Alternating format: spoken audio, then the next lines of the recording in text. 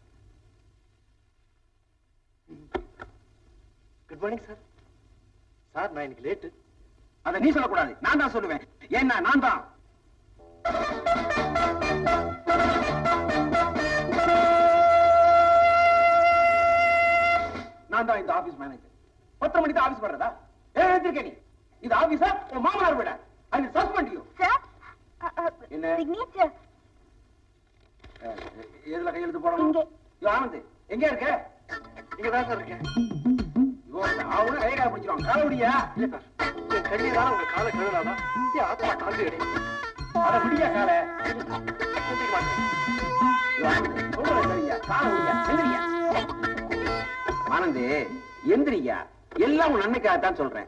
நம்ம சந்தானம் இருக்கானே அவன் எவ்வளவு சீக்கிரமா ஆபீஸுக்கு வர்றான் இத்தனைக்கும் புள்ள ஒட்டிக்காரன் ஒழுங்கா ஆபீஸுக்கு வேலைக்கு வந்து தன் வேலையெல்லாம் கவனிக்கிறான் நீ என்ன பண்ற? அவன்கிட்ட போய் ஆபீஸ் சீக்கிரமா வர்றது எப்படி? ஆபீஸ்ல சின்சியரா வேலை செய்யறது எப்படின்னு நான் கேட்டு தெரிஞ்சுக்கிறேன் சார். அது நீ சொல்லக்கூடாது. நான் தான் சொல்லுவேன்? ஏன்னா நான் இந்த ஆபீஸ் மேனேஜர் முந்திரி கொட்டை தெரிஞ்சுக்கோ. போ. மேனேஜரே சொன்னாரா? என்னப்பா? என்னாச்சு? ஏன் எல்லாரும் ஒரு மாதிரியா இருக்கீங்க? மேனேஜர் கோச்சுக்கிட்டாரா சும்மாரியா ஏயா ஆபீஸ்ல எப்படி நடந்துக்கணும்னு உன்னை பார்த்து நாம தெரிஞ்சுக்கணுமா? நான் சொல்லலையே. மேனேஜரே சொல்றாரு. மேனேஜரே சொன்னாரா? ரொம்ப சந்தோஷம். அப்படின்னா நாளையில இருந்து நீங்களும் என்ன மாதிரி சீக்கிரமா வாங்க. ஒரு கிளாஸே நடத்திடுறேன். ஆபீஸ் வேலையை தவிர வேற எந்த வேலையும் தெரியாதா? ஏன் தெரியல? அதுக்கு நிறைய புள்ள குச்சிகளை பெத்துக்க தெரியும். அது எப்படி உங்களுக்கு தெரியும்? வீட்டுல நிறைய பசங்க இருக்கிறாங்க. ஆளுக்கு ஒரு வேலையா கொடுத்துறீங்க அதனால வீட்டுல உங்களுக்கு வேலை இல்ல சீக்கிரமா ஆபீஸ்க்கு வந்து ஏன் சார் எங்க உள்ள எடுக்கிறீங்க? எந்த ஆளால எனக்கு ப்ரமோஷனே போச்சு இனிமே ஆபீஸ்க்கு வந்து ஒழுங்கா வேலை செஞ்சீங்க. கொடுத்த கடனை வசூல் பண்ணிடுவேன். அது மட்டும் இல்ல மேற்கொண்டு கடனே கொடுக்க நிறுத்துங்கப்பா. ஆளுக்கால அடிச்சு என்ன கொண்டு விடாதீங்க நான் ஆபீஸுக்கு சீக்கிரம் வரதுக்கு ஒரு காரணம் இருக்கு. நானும் உங்கள மாதிரி லேட்டா வந்தேன்னா வீட்டுல என் நிலைமை எப்படி இருக்கும் தெரியுமா? பாலாமணி. அப்ப நான் ஆபீஸுக்கு புறப்பட்டோமா? எத்தனை தடவை சொன்னாலும் இந்த கழுத காதல ஏறவே ஏறாதா? என்ன சொன்னேன்? என்ன சொல்லனா வீட்டுக்கு வெளியே கடன்காரங்க நிக்கிறாங்க. வீட்டுக்கு உள்ள வயசுக்கு வந்த பொண்ணு கல்யாணத்துக்கு நிக்கிறா. இதுக்கெல்லாம் என்ன வழி பண்ண போறீங்க? என்ன பண்றது? அளவுக்கு அதிகமா பெத்துட்டேன் பெத்துட்டே? ஆம், சரி சரி. பெத்துட்டோம் டோம். வாங்குற சம்பளம் பத்தல. எல்லார்கிட்டயும் கடன் வாங்கியாச்சு. தெரிஞ்சவன் ஒருத்தன் கூட பாக்கி இல்ல. இனிமே எவனாவது புதுசா பிறந்து வந்து என்கிட்ட மாட்டிக்கிட்டா தான் உண்டு. என்ன செய்வீங்களோ எனக்கு தெரியாது. இன்னும் பத்து நாளைக்குள்ள பணத்துக்கு வழி பண்ணணும். என்ன மிரட்டுற? என்ன மிரட்டுற? பிஎஃப் லோன் போட்டிருக்கிறேன் அடுத்த மாசம் வந்துரும். வந்த அப்புறம் கவனிக்கிறேன். ரொம்ப ஆத்தாத. ஆறி போயிட போகுது. கொண்டா. எனக்கு ஆசனாதான் பிடிக்கும். அது சரி. எல்லாரும் காபி சாப்பிடுறீங்களா? எந்திரிங்க. வச்ச வச்ச வச்சனு ச்சே. அப்பா அப்பா பக்கத்து வீட்டு மரகதெல்லாம் த்ரீ டி படம் பார்க்க போறேன் எனக்கு பத்து ரூபா கொடுங்கப்பா. பிஎஃப் லோன் போட்டிருக்கிறேன். அடுத்த மாசம். அப்பா அப்பா எனக்கு ஒரு தாவணி வேணுப்பா அடுத்த மாசம். அப்பா என் கண்ணாடி நழுவுது வேற மாத்திட்டாப்பா அடுத்த மாசம்மா. அப்பா எனக்கு நோட்டு வேணும் பத்து ரூபா தாப்பா. அடுத்த மாசம். அப்பா அப்பா எனக்கு வயிற்று வலிக்குதுப்பா பாத்ரூம் வேணும்ப்பா. அடுத்த மாசம். இருங்க இருங்க. வந்து கவனிச்சுக்கிறேன். அடுத்த மாசம் தரையா கொஞ்சம் please. குழந்தைகளை அதிகமா பெற்றுக்கிட்டதுனால கடன் தொல்லை தாங்க முடியல. பொண்டாட்டி பிள்ளைங்க தொந்தரவு பொறுக்க முடியல. அதுக்காக டெய்லி காலையில ஆபீஸுக்கு வந்து சீக்கிரமா சேர்ந்துருவேன். இது ஒரு தப்பா?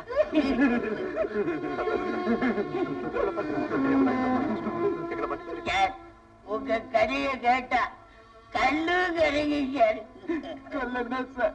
மலை. நீங்களே ஏன் சார்? கடன்காரங்க கிட்ட தப்பிச்சுக்க இப்படி ஒரு வழி இருக்கா? நீங்க சொல்லவே இல்லையே. நீ கேட்கவே இல்லையே. ஆமா பேச்சுக்கு நடுவ. கொஞ்சம் ஆபீஸ் வேலையும் பார்க்கணும். இப்ப ஆபீஸ் வேலையை பாப்போமா பாபு போங்க. அப்படி ஒண்ணு இருக்கோ? சார் என் கடனை கொடுத்துருங்க. சிகரம் இந்த புது டேபிள்லாம் இருக்கு தெரியாதா உங்களுக்கு? நாளைக்கு நம்ம ஆபீஸுக்கு புதுசா ஒரு பொண்ணு வருது. நாளைக்குடா பாத்ரூம் சொன்ன உடனே நினைச்சு முகமே சரியில்லை. நான் நினைச்சது சரியா போச்சு. இவ்வளவு போய் புதுசா வந்திருக்கிற லேடி கிளார்க் நினைச்சுல ஏமாந்து போயிட்டோம். அதனால என்ன? இவனும் ஒரு டைப்பா தானே இருக்க? பாபா ஐயோ இவனும் அலையறானே. சார்? எஸ் என் பேர் சாந்தி. நான் இங்க புதுசா வந்திருக்கிறேன் ஸ்டாஃப் மேனேஜரை பார்த்தேன். ஓ. ரைட்ல திரும்பினா ரெண்டாவது. தேங்க்யூ சார் ஏன்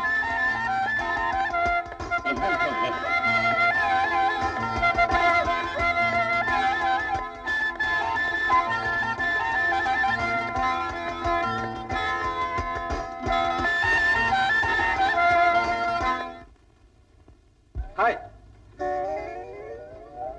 தெரியும். மேனேஜர் என்ன வந்த உடனே உள்ள வர சொன்னார். அவ்வளவுதானே?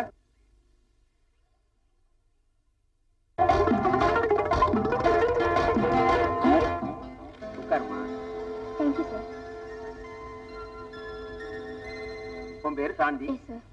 சொந்த ஊர் கோயம்புத்தூர். இந்த ஊருக்கு வந்து ஒரு வருஷம் ஆச்சு. இதுதான் நீ முத முத வேலை செய்ய போற ஆபீஸ். அப்படிதான் சார் என்னையா சட்டை இல்லாம ஒரு இது மாதிரி வந்திருக்க? உரிச்ச கோழி மாதிரியா? அது நீ சொல்லக்கூடாது நான் சொல்லுவேன். ஏன்னா அந்த ஆபீஸ் நான் மேனேஜர் உரிச்ச கோழி மாதிரி வந்திருக்கேன் ஏன்? அதை ஏன் சார் கேக்குறீங்க? கேட்பேன் சொல்லு. நான் கேட்பேன் சொல்லு. நேத்து ராத்திரி.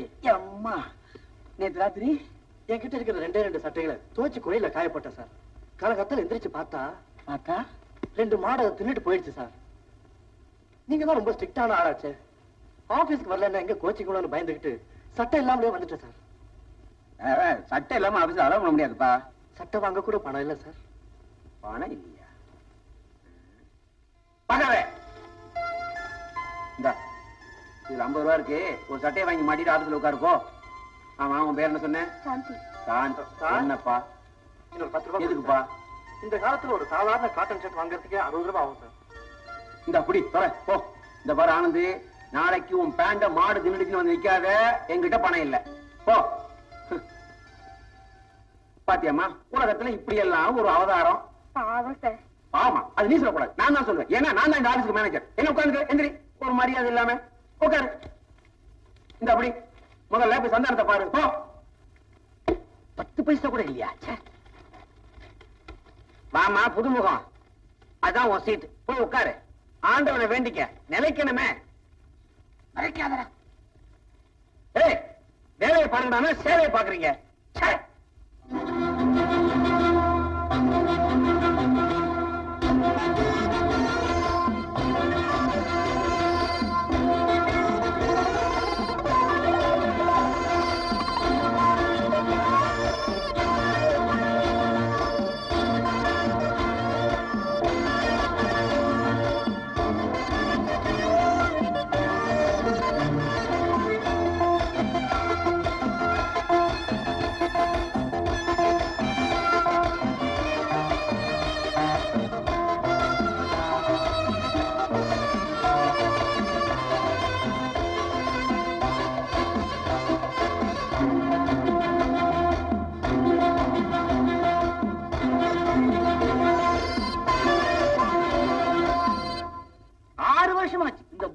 மாத்தவே மாட்டேங்கிறாங்க இந்த ஐட்டத்தெல்லாம் எப்பதான் மாத்த போறாங்களோ?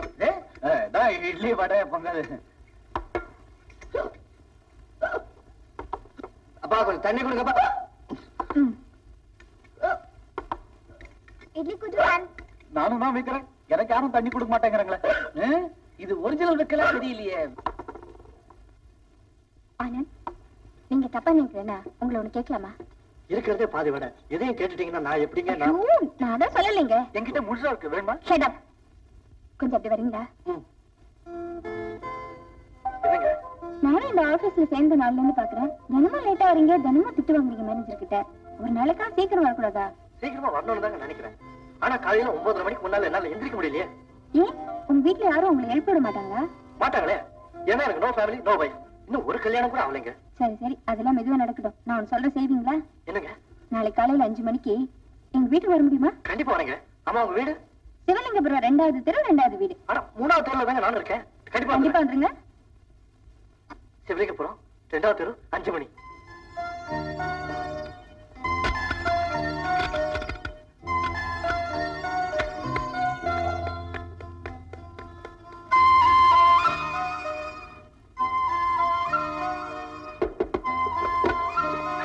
நான் தான் ஆனந்த். அஞ்சு மணி வர சொன்னீங்க வந்துட்டேன். நானும் வர சொன்னேன். ஆமா நீங்க தான் வர சொன்னீங்க.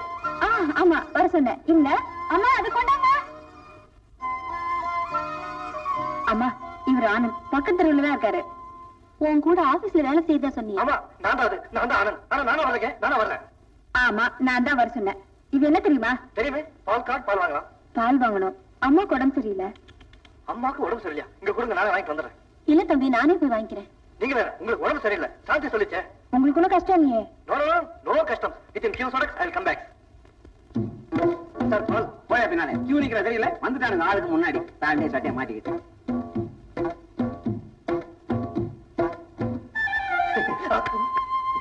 அம்மா பால். அம்மா பால். எவ்வளவு பெரிய கும்பல் எவ்வளவு பெரிய கியூ அம்மா மட்டும் போயிருந்தாங்கன்னா ரொம்ப கஷ்டப்பட்டிருப்பாங்க. இனிமே அம்மா கஷ்டமே வேணாம். டெய்லி நானே போய் பால் வாங்கிட்டு வந்துடுறேன். காலங்காத்தால் எந்திரிச்சு உங்க கையினால பால் காடை வாங்கிட்டு போய் பால் வாங்கிட்டு வரதுல எவ்வளவு பிரிஸ்கா இருக்கு தெரியுமா? அதான் உங்களை அனுப்பிச்சேன். இருங்க தம்பி காஃபி சாப்பிட்டு போலாம். என்னம்மா நீங்க அவரை போய் காஃபி சாப்பிட சொல்லிட்டு? ஏன் சாப்பிட மாட்டார். அது இல்லம்மா இப்ப அவர் நம்ம வீட்டுல காஃபி சாப்பிட்டாருன்னா ஏதோ ஒரு பால் வாங்கி கொடுத்ததுக்காக நம்ம காசு கொடுத்தா நினைச்சுக்க மாட்டாரா? அதுவும் இல்லாம இப்ப நீங்க போய் குளிச்சு ட்ரெஸ் பண்ணி புறப்பட்டா கரெக்ட் எடுத்துக்கு ஆபீஸ் போகலாம் இங்க நீங்க காஃபி சாப்பிட உட்காந்தீங்கன்னா மறுபடியும் ஆபீஸ்க்கு லேட்டு மேனேஜர் திட்டுவாரு. இதெல்லாம் உங்களுக்கு தேவையா? Yes yes I mean no no no தேவை no coffee see you office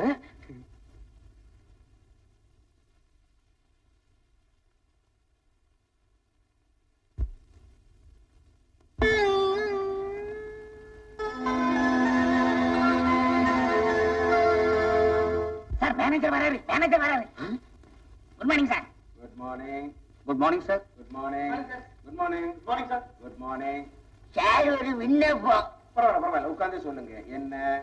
நான் எத்தனை நாளைக்கு தான் தவஞ்சுக்கிட்டே எழுதுறது மற்றவங்க மாதிரி எனக்கு நகர் எப்ப சார் வாங்கி கொடுக்க போறீங்க? மிஸ்டர் சின்னத்தம்பி இது வரைக்கும் நீங்க உட்கார்ந்து பன்னெண்டு டேபிள் சேர உடைச்சிருக்கீங்க. இந்தியாவிலேயே உங்களுக்கு ஏத்த மாதிரி சீட் இல்லையே. சார் ஒரு சின்ன ஐடியா. என்ன? பார்க்ல இருக்கிற பெஞ்ச் மாதிரி சிமெண்ட்ல ஒண்ணு பண்ணி ஏன் இதுக்கு கொடுக்க கூடாது? வெரி குட் ஐடியா ஏற்பாடு பண்ணுங்க. உங்க சீட் பிரச்சனை தீர்ந்தது. நன்றி குட் மார்னிங் சார்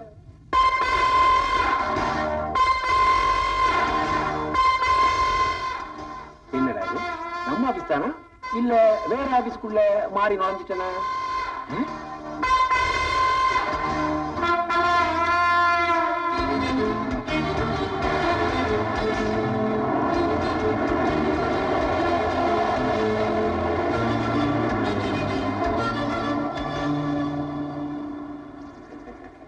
அதான் பார்த்தேன் வெளியில மழை பெய்யுது. ஆனந்த் கரெக்ட் டயத்துக்கு வந்திருக்கான் சார். அதனால தான் மழை பெய்யுது. அதை நீ சொல்லக்கூடாது. நான் தான் சொல்லுவேன். ஏன்னா இந்த ஆபீஸ்ல நான் தான் மேனேஜர் வெரி குட் ஆனந்த். நீ ஆபீஸ் சீக்கிரமா வந்திருக்க. ரொம்ப சந்தோஷம். நீ இப்படி சீக்கிரமா வர்றதுனால ஆபீஸுக்கு நன்மை இருக்கோ இல்லையோ? ஆனா உன்னால நாட்டுல நல்ல மழை பெய்யுது. இது ஒரு பெரிய நன்மை. இதை கண்டினியூ பண்ணுப்பா.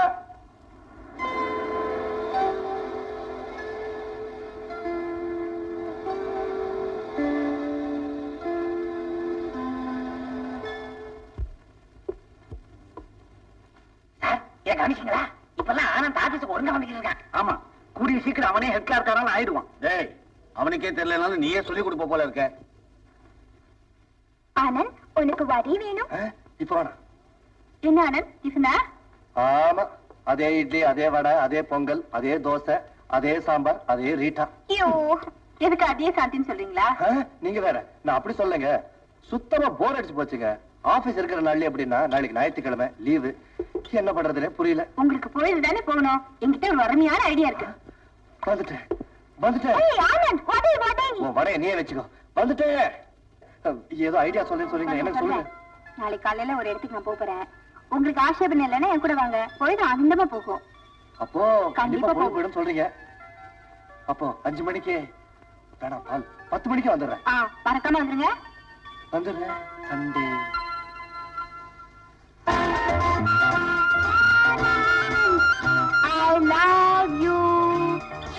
Shanthi I love you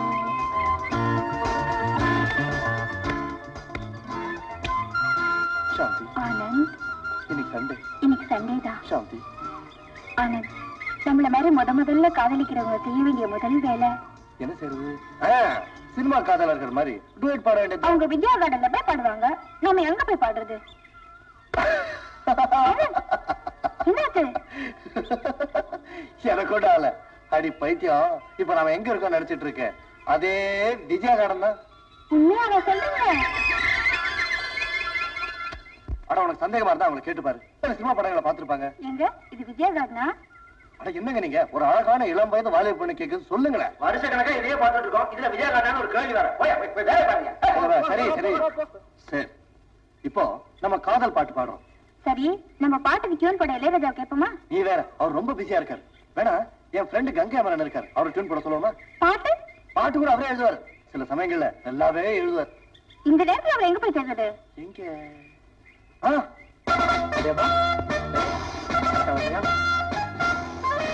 Amar sir. இன்னைக்கு கரெக்டா வச்சுக்கிறேன் அமர் சார். என்ன தம்பி தள்ளிட்டு வர? ஆள் யாரு? நம்மாள் சார். நம்ம ஆளா இல்ல இல்ல. என் ஆளு சார் என் ஆளு. என்ன விஷயம்? சார் உங்க ஹெல்ப் வேணும் சார். எந்த விதத்துல வேணும்? நாங்க ரெண்டு பேரும் காதலிக்கிறோம் சார். காதலிங்க? ஒரு பாட்டு பாடணும் சார். பாட்டு பாண்டுமா பாடுங்க. ஒரு டியூனோட பாட்டு வேணும் டியூனோட பாட்டா? இந்த காலத்துல எங்க தம்பி இருக்குது? சரி நம்ம ரேட் என்ன தெரியுமா உனக்கு? சார் சார் நாங்க ஏழை காதலர்கள் சார். நீங்க ஏழை காதலர்களா? சுடிதார் செட்டு வாட்ச் வளையல் ஜர்க்கின்னு நீங்க ஏழை காதலர்கள். சார் நான் உங்க ஃபேன் சார். ஒரே பாட்டு கொடுங்க சார். அடடா பொண்ணு நீயே கேட்ட. சரி என்ன மாதிரி பாட்டா போடுறது? நீங்க எத்தனை டூயட் போட்டிருப்பீங்க? உங்களுக்கு தெரியாதா? இந்த காதல் டூயட் பாட ஒரு பாட்டு கிடைச்சது. இந்த மாதிரி ஏதாவது? எங்க இன்னொரு சொல்லு. காதல் டூயட் பாட ஒரு பாட்டு கிடைச்சது. ஜோடி சேர்ந்து ஆட இந்த இடமும் இருக்குது. அந்த மாதிரி ஒரு கர்த்தான பாட்டா வச்சுக்கலாம். தட் இஸ் ரெடி வா ரெடி வா ரெடி வா. ரெடி 1 2 3 4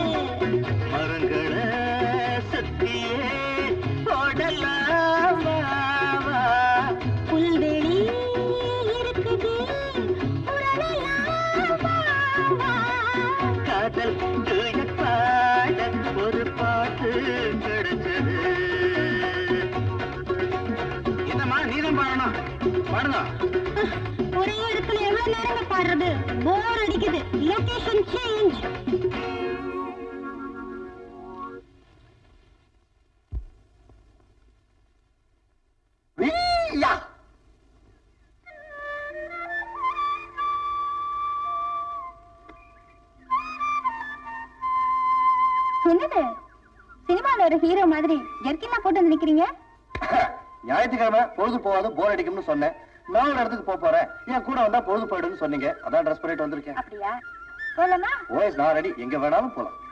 ஆமா. ஏன் போய் வீணா அம்மா சிரமப்படுத்திக்கிட்டு? இப்ப என்ன சாப்பாடா முக்கியம்? அப்படி ஏதாவது பறிச்சதுன்னா போற வழியில எங்கேயாவது ஹோட்டல்ல சாப்பிட்டுக்குவோம். அங்க எல்லாம் ஹோட்டல் இருக்காது. ஹோட்டல் இருக்காதா? நாம எங்க போறோம்? ரேஷன் கடைக்கு. ரேஷன் கடையா? ஆமா அங்கதான் போகிறோம் ரேஷன் கடை தான் நீங்க சொன்ன பொழுது போற இடமா? என்ன? பொழுது போகாதேன்னு பாக்குறீங்களா? பாமாயிலுக்கு நின்னு பாருங்க. பத்து மணி நேரம் ஆயிடும். அரிசிக்கு நின்னா அஞ்சு மணி நேரம் ஆயிடும். ரேஷன் வாங்கிட்டு வரதுக்குள்ள ஞாயிற்றுக்கிழமை முடிஞ்சிடும் இருங்க வரேன் ரேஷன் கடை. ஜர்க்கின்னு பேண்ட் இதுக்கு ஒண்ணும் குறைச்சல இது முன்னாடியே தெரிஞ்சிருந்தா லுங்கி பனியனோட வந்திருப்பேன். என்ன? முணுமுணுக்கிறீங்க? நீங்க வரலையா? சரி சரி. நானும் கூட வரேன்.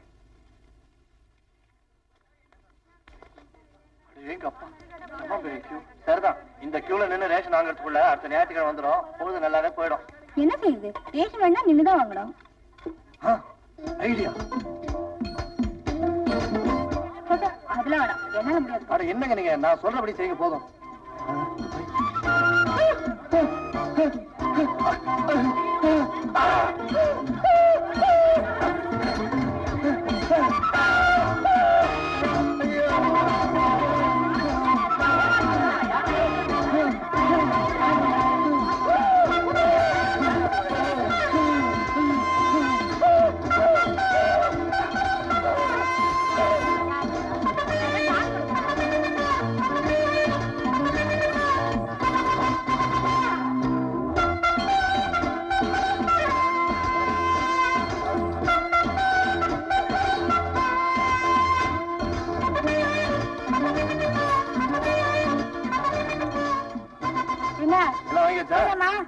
பாட்டில் யார் கொடுத்தது? ஏ யோ அறிவு இருக்கா? பாட்டில கொண்டாந்து கொடுத்திய? திருப்பி கொண்டு போய் கொடுக்க வேணாம். கொஞ்சமா பொறுப்பே இல்லாம நடந்துக்கிறீங்களே. இதனால தான் நாடு இப்படி இருக்கு. வாங்கிக்க பாப்பா. ஆ சாய் கொத்தி யாருது? இந்தாங்க. அடப்பாவி நம்ம எல்லா அப்பப்பா புளி சாமான் எல்லாம் வாங்கணுமா? போன மாதிரி இல்லாம வெட்டி பேச்சு பேசிட்டு இருக்கீங்களே. அங்க கடை காலியா இருக்கு.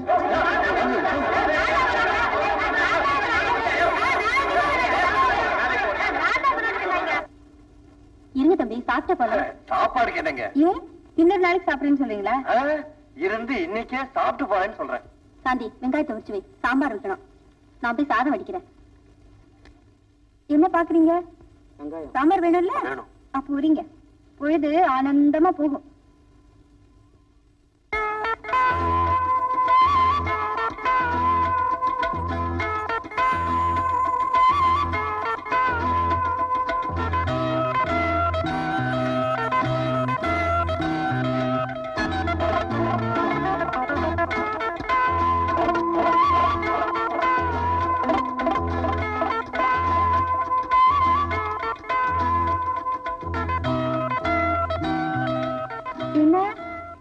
வாங்குறேனேன்னு சொல்ல முடியாம அழுது காட்டீங்களா No, no, no, no, no. உங்களுக்கு வேலை செய்யறத நான் ஒரு பாக்கியமா நினைக்கிறேங்க. அதுல ஒரு ஆனந்தமே இருக்கு. ஓ அதனாலதான் ஆனந்த கண்ணீரா? வெங்காய கண்ணீர். அப்ப ஏற்கனவே உரிச்சுவீங்க என்னடா இது? தம்பிய போய் இதெல்லாம் உரிக்க சொல்லிட்டு ஆ? போதுமா நீ குடு.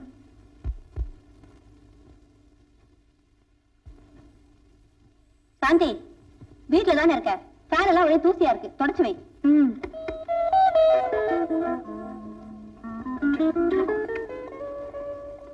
பரவாயில்லைங்க. சின்ன வயசுல நீங்க ஜட்டி இட்லாம் போட்டுக்கிட்டு ரொம்ப அழகா இருக்கீங்க. அது நான் இல்ல. எங்க அம்மா.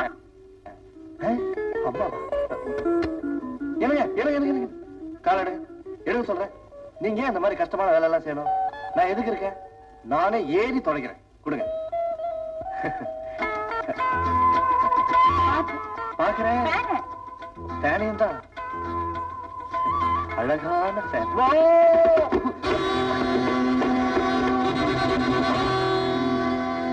என்னங்க? என்னாச்சு? ஒண்ணு இல்ல ஒண்ணு இல்ல நாங்களும் சத்தம் கடிச்சு உங்களுக்கும் கேட்டுதா? சேர் தலையில தான் அடிபட்டு முதல்ல போய் டாக்டர் பாருங்க. ஒண்ணு இல்லைங்க வயிறு தாங்க பசிக்குது. எங்க உடம்புல வயிற பிரதன தலைதாங்க பிரதன முதல்ல போங்க. வரட்டுமா? இன்னைக்கு பொழுது ஜெகஜோதியா போச்சு. அம்மம்மா. அப்பா.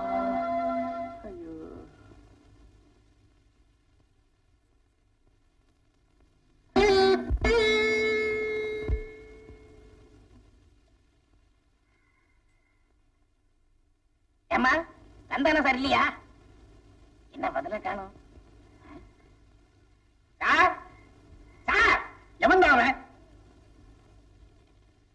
ஏண்டி கடங்காரம் மூதேவிங்க மாதிரி வாசப்படியில உட்கார்ந்திருக்கீங்க? சிங்காரம் நீயா? இந்த பாரு ஆபீஸ் வேலை ஆபீஸ்ல. இங்க ஏன் வந்த. என்ன சார் இது? நீங்க வேற சொன்னீங்க வீட்டுக்கு வந்தா பணம் தாரேன்னு. பணம் தரேன்னு சொன்னேன்ல? சிங்காரம் ப்ராவிடன்ட் ஃபண்ட் லோன் போட்டிருக்கிறேன். இந்த மாசம் இருபதாம் தேதி வந்துடும். வந்த உடனே அஞ்சோ பத்தோ கொடுத்துறேன் ஆமா கொடுத்து கிழிச்சிருவீங்க. ஐயோ பணத்தை கிழிக்க கூடாதப்பா. சட்ட விரோதம். பணத்தை கிழிக்கிறதுக்கு எனக்கு என்ன பைத்தியமா பிடிச்சிருக்கு? வந்ததுதான் வந்துட்டேன். ஒரு கப் காபி சாப்பிட்டு போறது. லட்சுமி. கரு கருன்னு என்ன வந்திருக்குது பாத்தியா? இது நம்ம. நம்ம இல்ல. ஏன் பொண்ணு? பேரு லட்சுமி. மகாலட்சுமி மாதிரி நான் பெற்றதாச்சே லட்சுமி தெரியாத்தனமா வந்து நிக்குது. ஒண்டி கட்ட ஒத்த காபி இருந்தா கொண்டாந்து கூட. அப்பா நம்ம மாடு இன்னைக்கு காலையில பால் கறக்கிறவன உரைச்சிருச்சு. அதனால இன்னைக்கு யாருக்கும் பால் இல்ல காஃபி இல்ல. காபி இன்னொரு நாள் சாப்பிட்டா போச்சு கரெக்ட் டக்குன்னு புரிஞ்சுக்கிறேன். சிங்காரா என் வீட்டு லட்சுமி இருக்குதே. அது ரொம்ப பயங்கர முரடு. எவனாவது ஏமாந்தவன் கிடைச்சான்னா ஒரு ஆயிரம் ரூபாய்க்கு வித்துட்டு அந்த பணத்தை நீயே எடுத்துக்க. ஏன் சார் பணத்துக்காக பெத்த மகனை விக்கிறாங்கிறீங்களா? பெத்த மவளா? ஆமா லட்சுமி சொன்னீங்க. ஐயோ ஐயோ. என் மவ பேரும் லட்சுமி என் வீட்டு மாடு பேரும் லட்சுமி. ரொம்ப விசித்திரமா இருக்க. ஏன் சார் படிக்குதா? மண்டையில மசாலா இருக்குதா உனக்கு? எவனாவது மாட்டை பள்ளிக்கூடத்துக்கு அமிச்சுதா கேள்விப்பட்டிருக்கியா நீ? இப்போ உங்க பொண்ண சொன்னேன். ஏன் பொண்ணா? அவ படிக்காத படிப்பா கத்த கத்தியா புஸ்தம் படிப்பா. புண்ணாக்கு பறிச்சு கூட திங்குதா? அறிவு இருக்கா உனக்கு? பெத்த பொண்ண புண்ணாக்கு போட்டு வளர்க்கறேன்னு நான் நினைச்சேன். இப்போ மாட்ட சொன்னேன். ரெண்டையும் போட்டு குழப்பாதையா? இப்ப கரெக்டா சொன்ன. மவளை பத்தி பேசுனியா? இல்ல மாட்டை பத்தி பேசுனியா? யார்கிட்ட பேசிட்டு இருக்கீங்க? வணக்கம்மா. அடடே வாப்பா சிங்காரம். நல்ல சமயத்துல வந்த. இவர்கிட்ட சொல்லி சொல்லி அழுத்து போயிட்டேன். நீயாவது நல்ல பையனா பாருப்பா. லட்சுமி கல்யாணத்தை முடிச்சிடலாம். மாட்டுக்கேன் கல்யாணம்? மறுபடியும் போட்டு குழப்பாதையா? இப்ப அவ என் மவ லட்சுமியோட கல்யாணத்தை பத்தி சொல்லிக்கிட்டு இருக்காயா? ஐயோ குழப்புறீங்க. ஆக மொத்தம் மாட்டுக்கு ஒரு ஆளு மகளுக்கு ஒரு ஆளு. ஏன்? மகளுக்கு ஆளு சரி. மாட்டுக்கு எதுக்கு ஆளு? இப்ப நீதான் குழப்புற. மாட விக்கிறதுக்கு ஆளு. விக்கிறதுக்கா? நீங்க வாங்க. சீக்கிரம் ஏற்பாடு பண்ணியா? பண்றேன். இந்த பிஎஃப் லோன் வந்தா வட்டியை கொடுக்குறீங்களா? பார்க்கலாம். அம்மா பார்க்கலாம். பார்க்கலாம். எப்ப பார்க்கலாம்? எப்படி பார்க்கலாம்? லட்சுமி?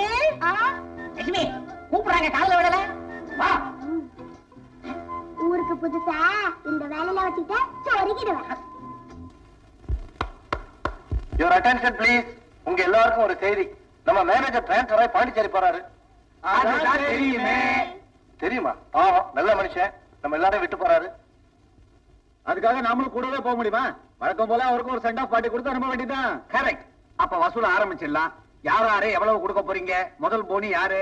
இந்த தடவை உங்களுக்கு நாங்க நம்பர் தான் இல்ல? போன தடவை கேஷி ரிட்டையர் ஆகும்போது இப்படித்தான் வசூல் பண்ணி கடைசியில பத்து பைசா வேர்க்கடையிலையும் சிங்கிள் டீயும் வாங்கி கொடுத்துட்டு கணக்கு சரியா படுத்துட்டீங்க இந்த தடவை நீ வேண்டாம். தம்பி ஆனந்தே வசூல் பண்ணட்டும். யோ சுமாரியா ஆனந்த் சின்ன பையன். இவ்வளவு பெரிய பொறுப்பை தூக்கி அவன் கையில கொடுத்தா அவன் எப்படி தாங்குவான்? பெரிய பொறுப்பு? ஏதாவது ஏனா குணமா பேசினா? இப்பவே கடனை வசூல் பண்ணிடுவேன். Okay okay. யாரா எவ்வளவு கொடுக்குறீங்களா கொடுங்க கொடுங்க கொடுங்க கொடுங்க. என்னோட இந்த. இந்த ஏதோ என்னால ஆனது. இந்த ரெண்டு வச்சுக்க. சந்தானம் சார் நாளைக்கு ஆபீஸ்ல பார்க்கலாம். பார்ட்டினா போதும். குச்சால மாதிரி குடும்பத்தோட வந்துருவாரு. என்னங்க? பார்ட்டில கடைசியா ஒரு ஜூஸ் கொடுத்தாங்களே குடிச்சீங்களா? இல்லையே. அருமையான ஜூஸ் மிஸ் பண்ணிட்டீங்களே. இப்ப நம்ம மிஸ் பண்ணது ஜூஸ் இல்ல பஸ் மணி பத்திரையாச்சு. லாஸ்ட் பஸ் போயிருக்கோம். ஆமா. ஒண்ணு பண்ணலாமா? பொடி நடையா நடந்தே போயிடலாம். ஐயோ எட்டு கிலோமீட்டரா நம்மளால முடியாதுப்பா. இப்ப என்ன பண்றது? ஆ உங்களுக்கு ஆட்சேபணம் இல்லைன்னா நாம ரெண்டு பேரும் ஒரே ஆட்டோல நாம ரெண்டு பேரும் ஒரே ஆட்டோல போலாமா? ஆபத்துக்கு பாவம் இல்ல. போலாம். ஆனா இந்த நேரத்துல ஆட்டோ கிடைக்கணுமே. இந்த நேரத்துல தாங்க ஆட்டோவே கிடைக்கும். ஆட்டோ.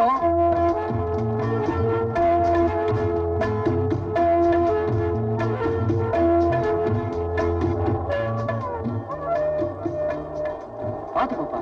பார்த்து போறதுனால தான் சார் இப்படி. இல்லைன்னா அங்கங்க இருக்கிற பள்ளத்துக்கு வண்டியை கவுந்துட்டு இருக்கோம். இவர்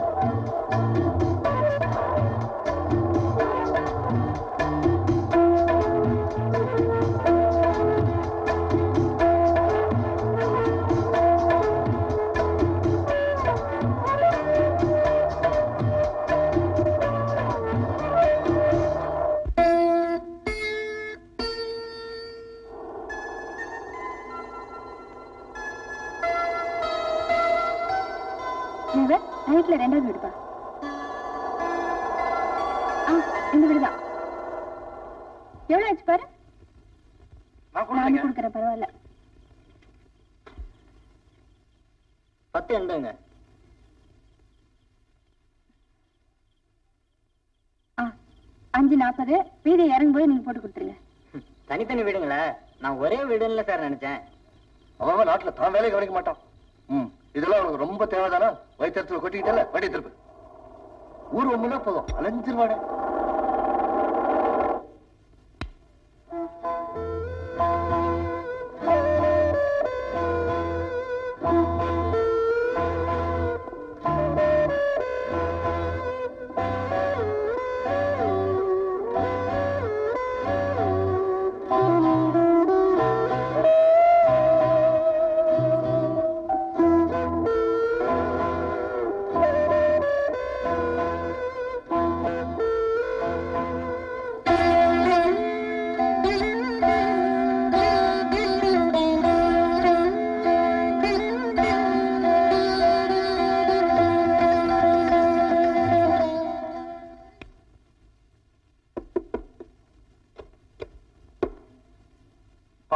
பால் வாங்கிட்டு வந்துடுறேன். பால் வாங்கியாச்சு. இனிமே நாங்களே பால் வாங்கிக்கிறோம். தம்பி ரேஷன் கூட நாங்களே வாங்கிக்கிறோம். அவதான் இதெல்லாம் உங்ககிட்ட சொல்ல சொன்னா.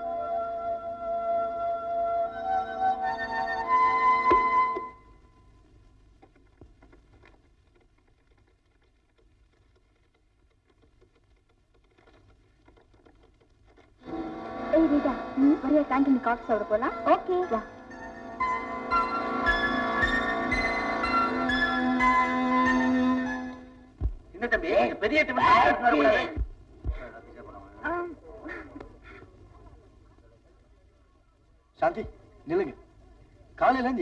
மாட்டேங்கிறீங்க. அப்படி நான் என்ன தப்பு பண்ணிட்டேன்? ஏதோ நேத்து ராத்திரி அவன் ஆட்டோவை வளைச்சு வளைச்சு ஓட்டினான். நானும் தெரியாம இடிச்சுக்கிட்டேன். இதுக்கு போய் கோச்சிக்கலாமா? இத்தனைக்கு நான் அவன்கிட்ட சொன்னேன். மெதுவா பாப்பா மெதுவா பாப்பான்னு. கேட்கலையே? அறிவு இருக்கா? அவனுக்கு. இதுக்கு போய் பால் வாங்க வேணாம் ரேஷன் வாங்க வேணாம்னு சொல்லிட்டா இப்படி உங்ககிட்ட வேலை வாங்க கூடாதுன்னு எங்க அம்மா கிட்ட நான் தான் சொன்னேன். அதான் ஏன் சொன்னீங்க? பாருங்க. வருங்கால மருமகன் கிட்ட வேலை வாங்குறது ஒரு நல்ல மாமியாருக்கு அழகு இல்ல அதான் சொன்னேன். அவங்க மருமக கிட்ட அவங்க வேலை வாங்கிக்கிறாங்க. உங்களுக்கு என்ன? சாந்தி மருமக நான் மாமியார் அவங்க. மாமியார் பொண்ணு நீ சாந்தி. டா சாந்தியா?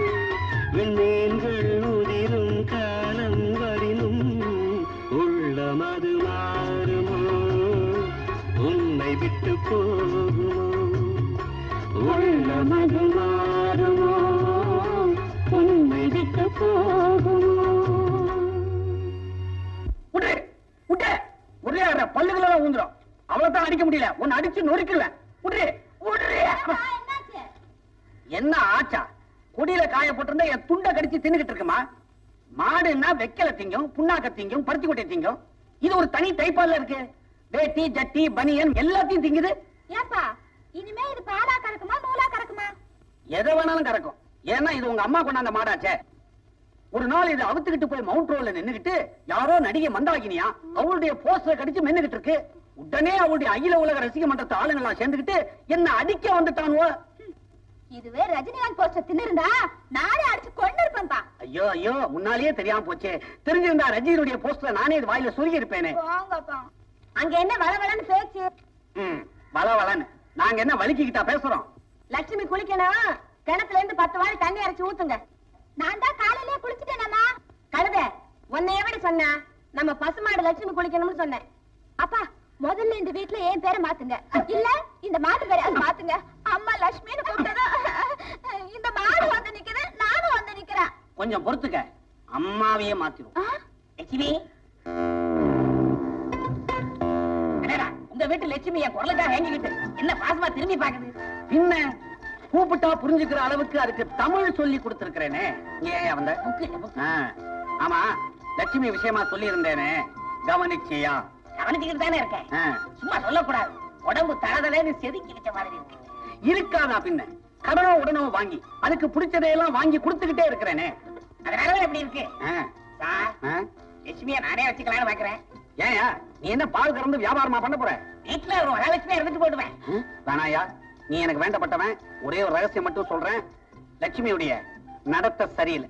எவனாவது இழிச்சவாய நான் பார்த்து அதை தள்ளி விட்டுறேன் அப்படி உனக்கு பிரியமா இருந்துச்சுன்னா நேரா இங்க வா.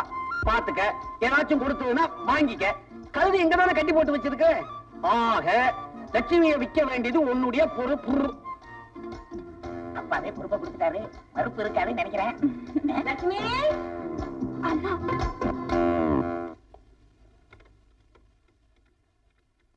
மிஸ்டர் சந்தானம் என் மேனேஜ்மெண்ட்ல எல்லாம் ஒழுங்கா நடக்கும். எஸ் சார் எந்த தப்பு நடக்க கூடாது சார் இவரையே கீழே உட்காந்துருக்காரு weight problem sir twelve company chairs broken sir seventy chair order sir இந்த சீட்ல யாரு?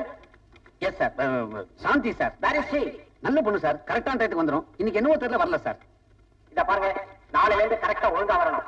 லேட்டா தான் எனக்கு பிடிக்காது. எஸ் சார் ஏன்பா ஆனந்த் சாந்தி ஏன் இன்னும் வரல? அதான் சார் தெரியல.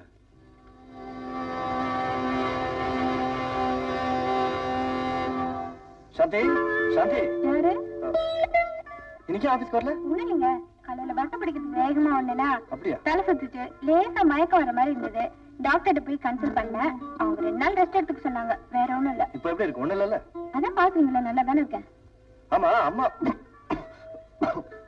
அம்மா எங்க? கொல்ல பக்கம் துணி துவைக்கிறாங்க. உட்கார்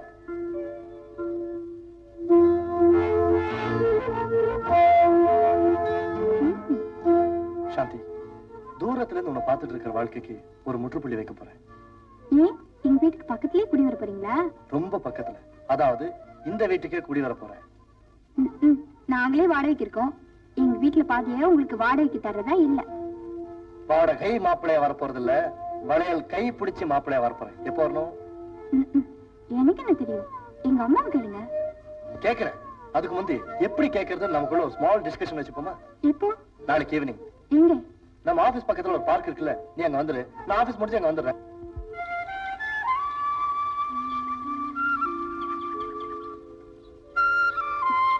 அம்மா பூ வேணுங்களே?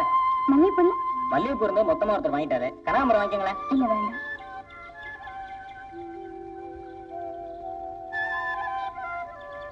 இந்தா மல்லி. நானும் ஆபீஸ் கொலிக் தான். நான் கொடுத்தா கூட வாங்கிக்கலாம். தேவையில்லை. ஏன் ஆனந்த் கொடுத்த மல்லியத்தான் உங்க தலை சூட்டிக்குமோ? மிஸ்டர். மதமே கூப்பிடு. மகிழ்ச்சியா. நான் மன்மதனா கூட மாற தயார். நீ எனக்கு ரெடியான மன்மதனோட பிரயோகம் என்ன தெரியுமா? அதனால தான் நானும் மலர்லயே ஆரம்பிச்சிருக்கேன். கூட இது. ம். அடி சொன்ன. இன்னைக்கு இந்த பூவை உன் தலையில வைக்காம விட மாட்டேன் மலர் பானமா விடுற? நான் விடுறேன். மலர் பாம்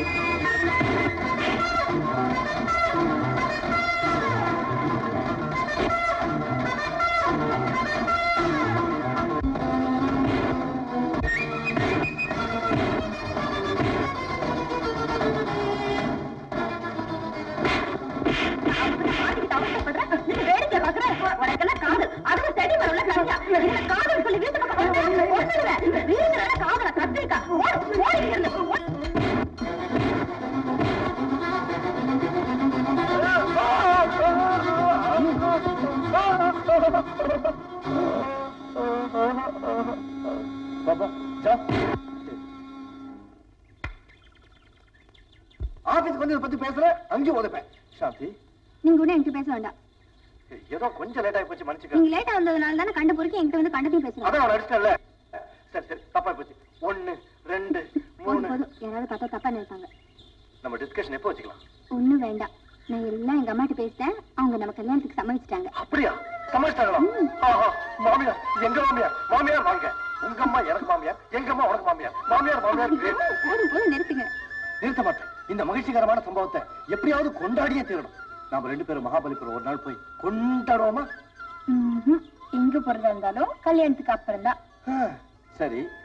முன்னாடி ஒரு சின்ன ஈச்சு ம், வாங்க தரேன்.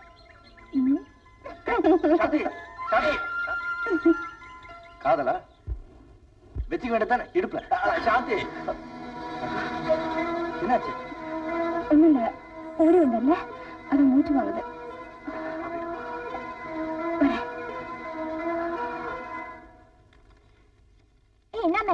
என்ன எல்லாரும் கிள்ளி கிள்ளி பேசுற. அம்மா நெத்தில இருந்தா காயம்? அது வந்து ஷேவ் பண்ணும்போது கிழிச்சு எந்த இடத்துல தான் ஷேவ் பண்றது விவசாயே தெரியாதா நாட்டி ஹாய் குண்டு பாப்பா.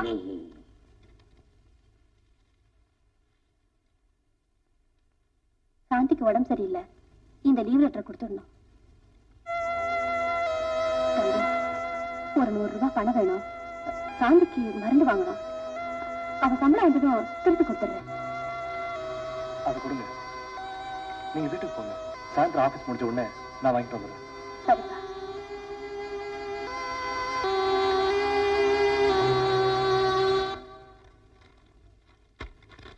ஆ, சார் இந்த மருந்தெல்லாம் எதுக்காக சாப்பிடுறது? நெஞ்சு வலி பிளட் பிரஷர் இதயம் சம்பந்தப்பட்ட வியாதி வந்தா சாப்பிடுற மருந்து.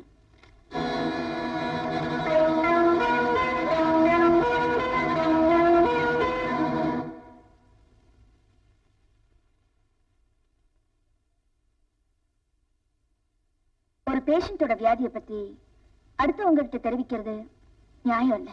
சாரி டாக்டர் சாந்திக்கு நான் அர்த்தம் இல்ல. அவளை நான் உயிருக்கு உயிரா காதலிக்கிறேன். என் இதயத்தில் இருக்கிற என் வருங்கால மனைவியோட இருதயத்துக்கு என்னன்னு நான் தெரிஞ்சுக்க துடிக்கிறேன் டாக்டர் ப்ளீஸ் ப்ளீஸ் டாக்டர் உட்காருங்க. உங்க பேரு? ஆனந்த். மிஸ்டர் ஆனந்த் நான் சொல்ல போற விஷயம் உங்களுக்கு கொஞ்சம் அதிர்ச்சியை தரலாம். பரவாயில்ல. சொல்லுங்க டாக்டர்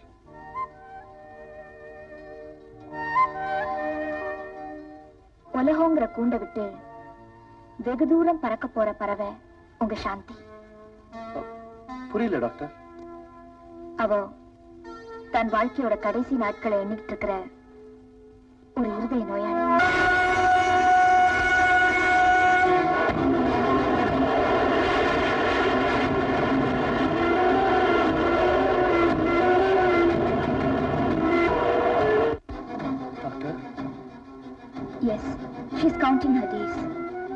வயசுல அவளுக்கு ரொமாட்டிக் ஃபீவர் வந்திருக்கும். அதை சரியா கவனிக்காம விட்டுருக்காங்க. அது ஒரு விசித்திரமான வியாதி. It clicks the knees and bites the ஹார்ட்னு சொல்லுவாங்க. முழங்கால ருசி பார்த்த அந்த வியாதி அவ இதயத்தை கடிச்சிருச்சு. அதனால அவ ஒரு இருதய நோயாளி ஆயிட்டா. இந்த வியாதி உள்ளவங்க இருதயத்துல இருக்கிற வால்வ்ஸ் எல்லாம் ரொம்ப வீக்கா இருக்கும். அதனால ரத்த ஓட்டம் தடப்படும். இருதய துடிப்பு நார்மலா இருக்காது.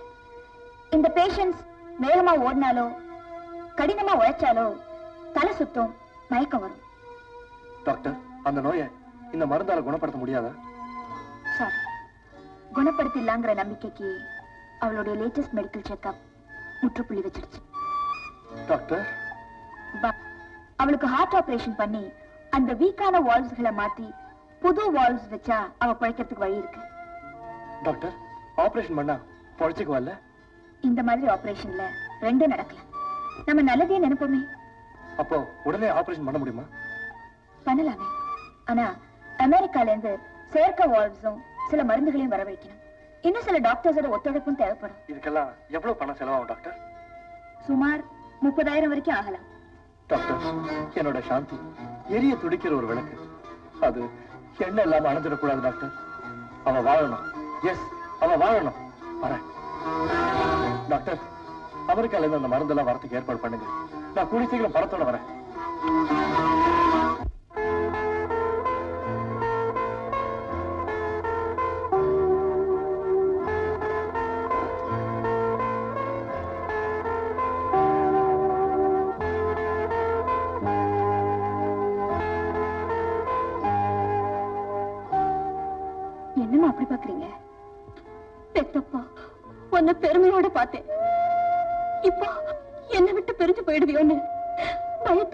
பயத்தோட சொந்தம்னு சொல்லிக்க ஒரு பொண்ணு இருக்காளேன்னு.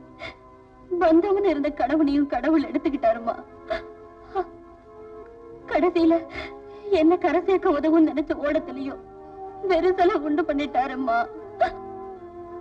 அம்மா எல்லாருக்கும் விதிய தலையில எழுதுற கடவுள். எனக்கு மட்டும் இதயத்துல எழுதிட்டாரு. எழுதுனத கொஞ்சம் அழுத்தி எழுதிட்டார் போல இருக்கு. அதான் இதய ஆபரேஷன்ல வந்து நிக்குது.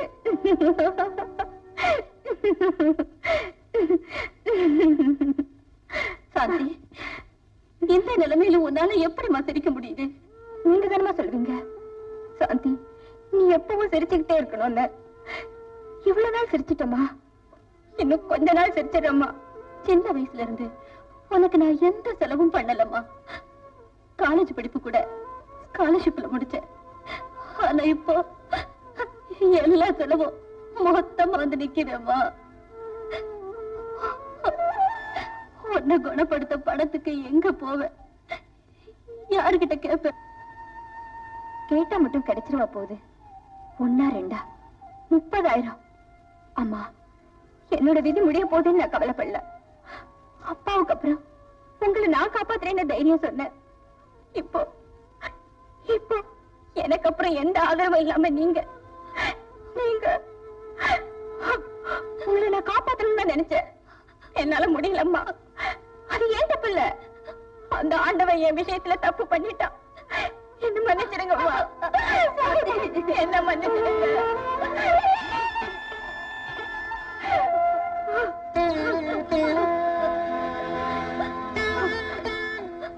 அம்மா இப்படியே கொஞ்ச நேரம் உங்க மடியில படுத்துக்கட்டுமா? படுத்துக்கம்மா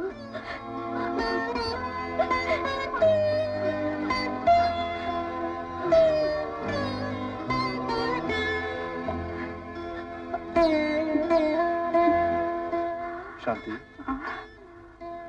மருந்து. டிவி லெட்டர் கொடுக்க போனப்போ நான் தான் மருந்து சீட்டு ஆனந்திட்ட கொடுத்தேன். எதுக்காக இந்த மருந்தெல்லாம்? ஒண்ணும் இல்ல தலை கொஞ்சம் பாரமா இருந்துச்சு. அதுக்குதான். தலை பாரமா இல்ல இருதயத்துல பாரமா? நீங்க ஆபீஸ்ல இருந்து டயர்டா இருந்திருப்பீங்க. கொஞ்சம் இருங்க காஃபி கொடுக்க சொல்றேன். அம்மா? நோ நான் ஆபீஸ்ல இருந்து வரல. நேரா ஆஸ்பத்திரியில இருந்தா வரேன். ஆஸ்பத்திரியா? நேத்து கூட பார்த்தா சொல்லவே இல்லையே. உங்க உடம்புக்கு என்ன? அதேதான் நானும் கேட்கிறேன் உன் உடம்புக்கு என்ன? ஆனந்த் நீங்க கூட இந்த மகாபலிபுரம் போகலான்னு ஒரு நாள் கூப்பிட்டீங்களே. நான் கூட கல்யாணத்துக்கு அப்புறம் போகலான்னு சொன்னேனே. நாளைக்கு நீங்க ஆபீஸ்க்கு லீவ் போட்டுருங்க. நம்ம மகாபலிபுரம் போவோம். மகாபலிபுரம் வேணாம். ஏன்? அங்க போனா பாறை மேலேயும் மலை மேலயும் ஏறி இறங்கணும். உனக்கு மூச்சு முட்டும். இருதய வாழ்வெல்லாம் சரியா ஃபங்க்ஷன் ஆகாது. ரத்த கொதிப்பு அதிகமாகும். இதெல்லாம் டாக்டர் தேவகி என்கிட்ட சொல்லிட்டாங்க. ஏன் சாந்தி ஏன் இதெல்லாம் என்கிட்ட மறைச்ச? முப்பதாயிரம் ரூபாய் பண விஷயமாச்சு. இவனால முடியுமோ முடியாதுன்னு தானே இந்த விஷயத்தை மூடி மறைச்சேன் அப்படிதானே? நீங்க என்ன மாதிரியே வேலை பார்க்கறவர் தானே? என்னதான் முட்டி மோதிக்கிட்டாலும் இவ்வளவு பணம் புரட்ட முடியாதுங்கிறது எனக்கு தெரியும். அதனால்தான் நடக்கிறது நடக்கட்டும்னு விதிக்கிட்ட வாழ்க்கையை ஒப்படைச்சிட்டேன். நோ உன்னை விதிக்கிட்ட ஒப்படைச்சிட்டு வேடிக்கை பார்க்க நான் தயாரா இல்ல நீ நல்லபடியா வாழணுங்கிறதுக்காக எப்படியாவது என்ன வித்தாவது. ஆபரேஷன் பணத்தை ஏற்பாடு பண்ணியே தீர்வேன் நான் வரேன். முப்பதாயிரம் ரூபாய் பணம் கேட்கறீங்க. அந்த அளவுக்கு பணம் கொடுக்க எனக்கு பவர் கிடையாது. அதுவும் இல்லாம நான் புது மேனேஜர் ரொம்ப அவசரம்னா ஆயிரமோ ரெண்டாயிரமோ வாங்கிக்கோங்க. அதுக்கு மேல என்ன? I am very sorry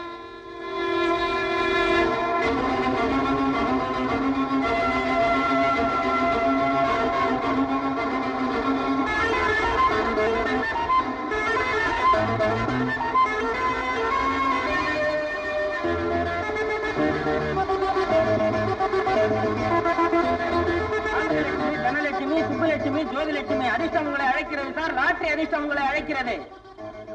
இருப்பது ஒரே டிக்கெட் சார் நாளைக்கு லட்சாதிபதி. வாங்கிக்கங்க சார் வாங்கிக்கங்க. இருப்பது ஒரே டிக்கெட் நாளைக்கு லட்சாதிபதி. நீங்க தான். ஒரு கொடுங்க. வாங்கிக்கங்க சார்.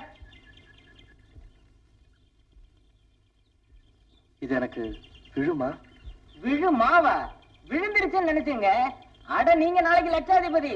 அதிர்ஷ்ட ரேகை உங்க முகத்துல ஓடுதுங்க. ஒரு நாள்ல கொடுங்க. டிக்கெட்டுக்கு பணம் கொடுத்துட்டானே. அது சீட்டுக்கு இது ஜோசியத்துக்கு. டிக்கெட் கொடுப்பா சார் இந்த லாட்டரி டிக்கெட் ரிசல்ட் வந்த பேப்பர் கொடுங்க சார்.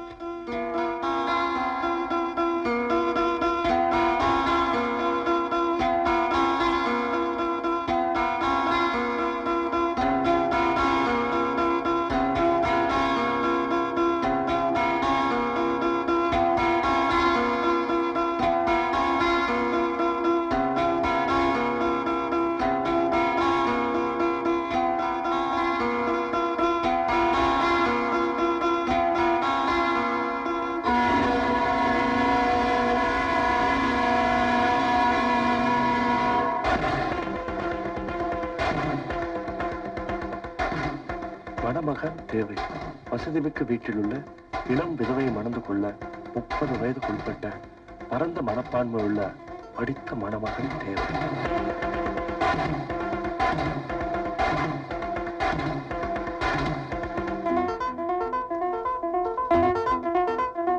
காதலித்த பெண்ணின் கணவனை காப்பாற்ற தன் உயிரையே தியாகம் செய்த ஒரு காதலனின் கதை.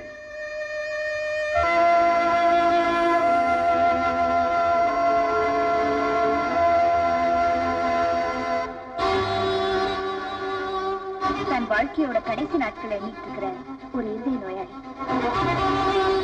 உன்னை விதிக்கிட்ட ஒப்படைச்சிட்டு வேடிக்கை பார்க்க நான் தயாரா இல்லை. நீ நல்லபடியா வாழணுங்கிறதுக்காக எப்படியாவது ஏ என்ன வித்தாவது ஆபரேஷன் பணத்தை ஏற்பாடு பண்ணியே தீருவேன்.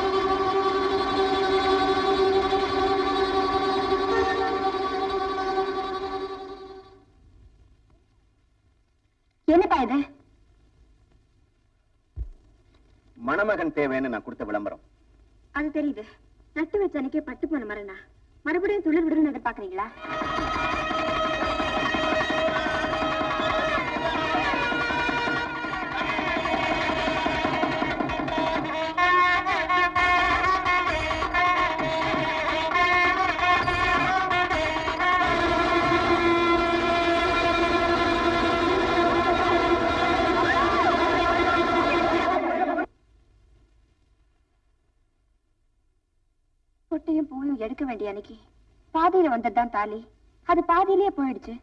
ஆதியிலே இருந்திருக்கிற பூவும் பொட்டும் உன்னோடய இருக்கட்டும்னு சொன்னீங்க. உங்க ஆசைக்காக அதையும் வச்சுக்கிட்டேன். அப்புறம் வெள்ளை புடவை கட்டிக்கிட்டு என்ன வேதனைப்படுத்தாதமான்னு சொன்னீங்க.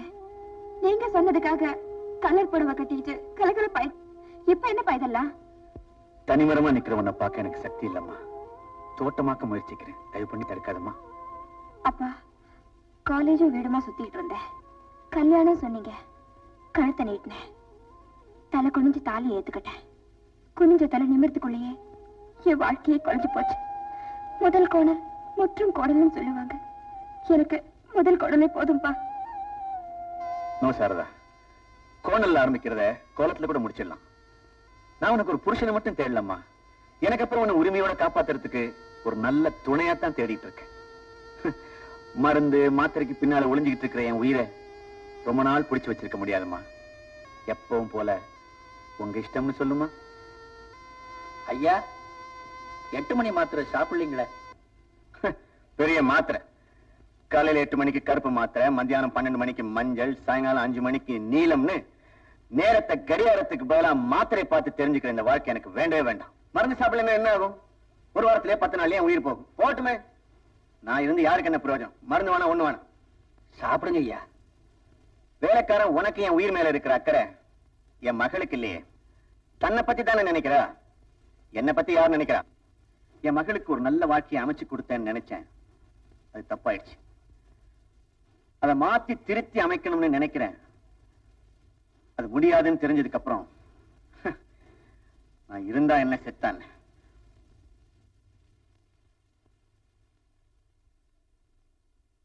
உட்காருங்க. இது வரைக்கும் அந்த முப்பது நாற்பது பேரை கேட்டு கேள்வி தான் உங்களையும் கேட்க போறேன். அந்த பொண்ணு விதவன் தெரிஞ்சிருந்தோம். நீங்க அந்த பொண்ணை கல்யாணம் பண்ணிக்க முன் வந்திருக்கீங்களே? அதனுடைய அடிப்படை காரணம் என்ன நான் தெரிஞ்சுக்கலாமா? என் பெயர் பரந்தவனம் பரந்தாவன். நான் ஒரு சமூக தொண்டன். ஆளுங்கட்சி எம்எல்ஏவானாலும் சரி எதிர்கட்சி எம்எல்ஏ ஆனாலும் சரி எல்லோருடைய ஆதரவு சிபாரிசு எனக்கு எளிதாக கிடைக்கும். அந்த அளவிற்கு மக்களிடத்திலே நான் செல்வாக்கு படைத்தவன். விதவை மறுமணத்தை நான் ஆதரிக்கின்றேன். விதவா விவாதத்தை வெறுக்கும் வீரர்களை நானும் வெறுக்கிறேன். நான் உங்களை ஒன்று கேட்கின்றேன். ஏன் மறுமணம் செய்து வைக்க கூடாது. அது என்ன தப்பு? நான் ஒண்ணும் சொல்லியப்பா சொல்லக்கூடாது சொல்லவும் முடியாது. உங்கள் அனைவருக்கும் கடைசியான ஒன்று சொல்லிக்கொள்ள ஆசைப்படுகின்றேன். மணப்பேன் மணப்பேன் இறந்தவரின் மனைவியை மணப்பேன். நன்றி வணக்கம். சோடா சாப்பிடுறீங்களா? இருக்கட்டுங்க. உங்க அபிப்பிராயம் என்ன? சார் என் பேர் முற்போக்கு முருகன். நீங்க வசதியை பத்தி சொல்லிருந்தீங்க எனக்கு வசதியை பத்தி கவலை இல்ல சார். எங்களோட பரம்பரை பழக்கம் தான் முக்கியம். குழந்தையோட இந்த விதவிய எங்க அப்பா கல்யாணம் பண்ணிட்டார். அந்த குழந்தை தான் சார் நான். பொதுவா சார் ஒரு ஆண் மகன் மனைவி இழந்து விதவனா இருக்கும்போது அவனுக்கு சமூகம் மறுகல்யாணம் செய்துக்க சொல்லி இடம் கொடுக்குது. ஆனா ஒரு பெண் விதவையான அவளை சமூகம் ஒதுக்கி வைக்குது. அது ஏன் சார்? அவங்களுக்கும் சம உரிமை வேணும். அதை கொடுக்க நான் சித்தமா இருக்கேன். பரந்தமனம் பரந்தாமன் முற்போக்கு முகுந்தன் வந்து எங்க இந்த விதவை? ஐயா நான் தான் விதவதாசன் நான் ரெடி நீங்க மன்னர ஆசீர்வாதம் பண்ணுங்க. ஐயோ நான் இல்லையே. இவரா? ஆசீர்வாதம் பண்ணுங்க. ஐயா தாலி ரெடி ஏற்கனவே இந்த பொண்ணு வீணா காலத்தை கழிச்சிருச்சு மேற்கொண்டு காலத்தை கழிக்க நான் விடவே மாட்டேன். இந்த தாலியை கட்டியே தீருவேன். கட்டி ஓ, ஐயரா மந்திரம் சொல்லியா? என்னங்க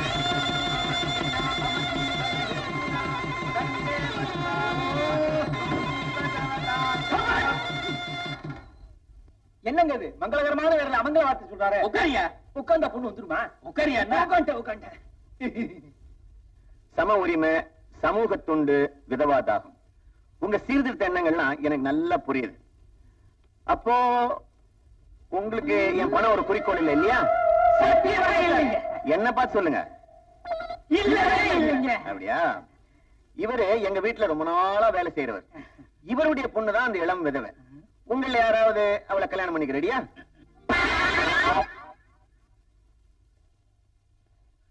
பாத்தீங்களா? எல்லா பையங்களும் ஹிப்போக்ரிட்ஸ் வெறும் வேஷதாரிங்க.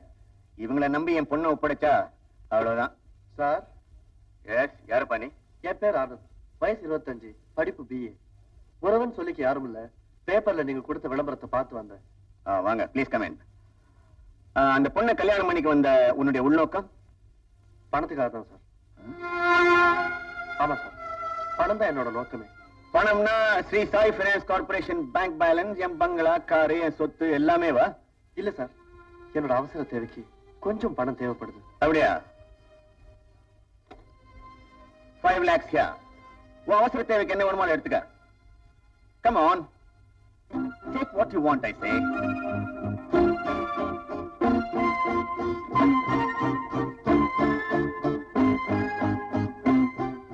only thirty thousand இந்த முப்பதாயிரத்துக்குள்ள அவசரம் என்னன்னு நான் தெரிஞ்சுக்கலாமா? என் ஃப்ரெண்டோட உயிரை காப்பாத்து. டாக்டர் கேட்ட பணம் இவ்வளவுதான் சார் சோ இந்த பணத்துக்காக தான் நீ அவளை கல்யாணம் பண்ணிக்க போற. ஆமா சார் இவரே எங்க வீட்டு வேலைக்காரர். இவருடைய மகதான் இளம் விதவை. அவளை தான் கல்யாணம் பண்ணிக்க போறேன். ஓகே சம்மதம் சார் வேலைக்காரருடைய பொண்ணுன்னு பின்னால வேதனைப்பட மாட்டியே? இல்ல சார் நான் கல்யாணம் பண்ணிக்க போறவ யாரா இருந்தாலும் அவளை கண் கலங்காம காப்பாத்துவேன். சரி. நான் கொடுக்கிற பணத்தை நீ யாருக்கு கொடுக்க போறேன்னு நான் தெரிஞ்சுக்க விரும்பல. ஆனா கல்யாணத்துக்கு அப்புறம் உன் வாழ்க்கைக்கு வழி? சார் இப்ப நான் சம்பாதிக்கிற பணம் ரெண்டு பேருக்கு ரெண்டு வேளை சாப்பாட்டுக்கு போதும். தட் குட் இந்த பணத்தால ஒரு உயிர் காப்பாத்தப்படுதுன்னா அதுல எனக்கும் சந்தோஷம் தான் உன் கடமைகளை முடிச்சிட்டு இங்கேயே வந்துரு.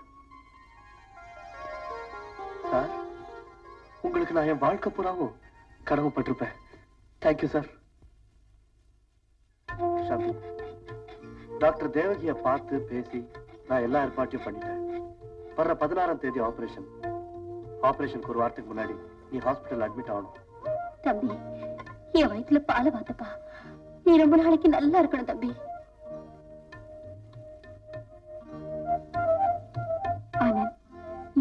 பணத்துக்கு என்ன பண்ணீங்க? எப்படியோ சமாளிச்சேன். இப்ப அதெல்லாம் எதுக்கு? ப்ளீஸ் சொல்லுங்க ஆனந்த். உன்னோட நல்ல நேரம். நான் நேத்து ஒரு நல்ல மனிதரை சந்திச்சேன். அவருக்கு என்னால ஒரு காரியம் ஆக வேண்டியிருந்தது. அதுக்கு பதிலா நான் முப்பதாயிரம் ரூபாய் பணம் கேட்டேன். கடனா தான் அவரும் பெரிய மனசோட கொடுத்தாரு. இப்போ ஒரு வேலையும் போட்டு கொடுக்க போறாரு.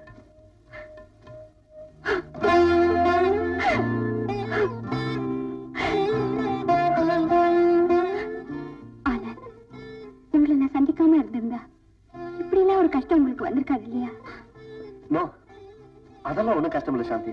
ஆனா பழசெல்லாம் மறக்க வேண்டியிருக்கேன்னு நினைச்சாதான் ரொம்ப கஷ்டமா இருக்கு. என்ன அது பழைய ஸ்டாஃப் பழைய ஆபீஸ் இது எல்லாத்தையும் விட்டுட்டு புது வேலையில சேர போறேனே. அ- அதத்தான் சொன்னேன். சாந்தி நான் புது முதலாளி கிட்ட போய் புது வேலையில எப்ப சேரணும்னு கேட்கணும். நான் வரட்டுமா? ஹலோ? யாரு? ஜோசியரா? ஐயா வேணுமா? கொஞ்சம் இருங்க. ஐயா? ஐயா? என்ன? ஜோசியர் ரயில்ல இருக்காரு. ஹலோ. ஜோசியரா? ஆ வணக்கம் வணக்கம். நான் தான் ராமநாதன் பேசுறேன். என்னங்க? முகூர்த்த நாள் ஃபிக்ஸ் பண்ணிட்டீங்களா? அடே வெரி குட் வெரி குட் வர பதினோராம் தேதி வா. ரொம்ப சந்தோஷம். சாயங்காலம் வரீங்களா? வாங்க வாங்க வாங்க. சார்? அடே டே, ஆனந்தா? வா வா. உன் கல்யாண தேதியை ஃபிக்ஸ் பண்ணிட்டேன். வர்ற பதினாறாம் தேதி கல்யாணம். இந்த தேதி விட்டா மூணு மாசத்துக்கு நல்ல முகூர்த்தமே கிடையாது. என்ன பேசாம இருக்க? கல்யாணத்தை வச்சுக்கலாம்ல? வச்சுக்கலாம். ஓகே நீ பொண்ணை பார்க்கணும்ல? வர சொல்லட்டுமா? பரவாயில்ல சார் வேணாம் உனக்கு வேணாம்ப்பா. பொண்ணு ஒண்ண பார்க்கணும்னு நான் விரும்புறேனே. நீங்க பொண்ணை வர சொல்லுங்க. சரிங்க ஐயா. ஆமா உன் ஃப்ரெண்டுக்கு ஏதோ பிரச்சனை சொன்னியே அது முடிஞ்சுதா? அதெல்லாம் முடிஞ்சது sir. Thank you so you free கூப்பிட்டீங்களாப்பா? வாமா. ஆனந்த் இதுதான் உன்னுடைய வருங்கால மனைவி. என்னுடைய ஒரே மக சாரதா. என்னடா விதவேன்னு சொன்னானே பூவும் புட்டுமா வந்து நிக்கிறாளேன்னு பாக்குறியா? நான் சமுதாயத்துல சில வித்தியாசங்களை செய்து பார்க்கணும்னு விரும்புறேன் அதனால்தான் வித்தியாசமான விளம்பரம் வித்தியாசமான இன்டர்வியூ வித்தியாசமான கல்யாணம். சாரதா உனக்கு ஆனந்துக்கும் வர்ற பதினாறாம் தேதி கல்யாணம். Come in good morning doctor hello Sharada உட்காருமா? கங்க்ராச்சுலேஷன்ஸ் டாக்டர் அன்னைக்கு என்ன வேலை இருந்தாலும் கல்யாணத்துக்கு அவசியம் வரணும்னு அப்பா சொல்ல சொன்னாரு. நீ சொன்னா நான் வர மாட்டேனா இல்ல டாக்டர் நீங்க ரொம்ப பிஸியா இருப்பீங்களே. உன் கல்யாணத்துக்கு நான் வரேன். டைரியில நோட் பண்ணிக்கிறேன் okay March oh sorry Sharada உன் கல்யாணத்து அன்னைக்கு அதே நேரத்துல எனக்கு ஒரு முக்கியமான ஆபரேஷன் இருக்கு. ஆ முகூர்த்தத்துக்கு என் ஹஸ்பண்ட் அனுப்புறேன். ரிசப்ஷனுக்கு நான் வரேன் ஓகே ஓகே டாக்டர்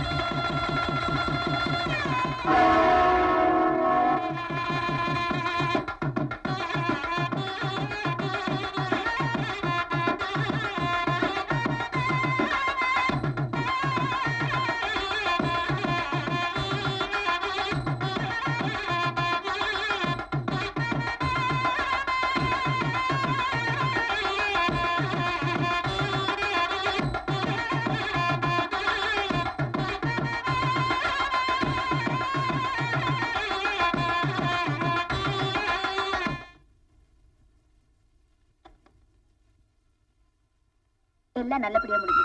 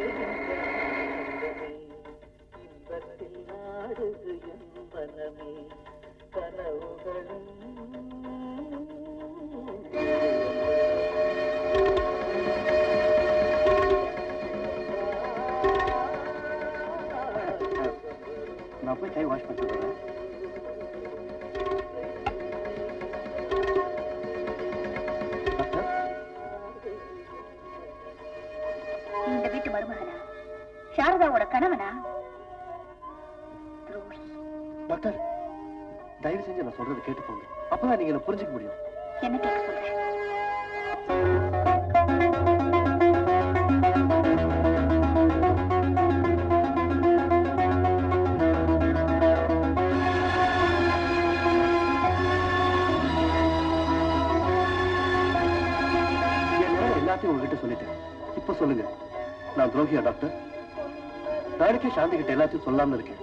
நோ. அவ பூர்ண குணமாயிட்டா நான் உங்ககிட்ட சொல்ற வரைக்கும் அதிர்ச்சி தரக்கூடிய எந்த விஷயத்தையும் நீ அவகிட்ட சொல்லக்கூடாது. அப்போ எப்போ? காலம் வர வரைக்கும் காத்திருக்க வேண்டியதுதான்.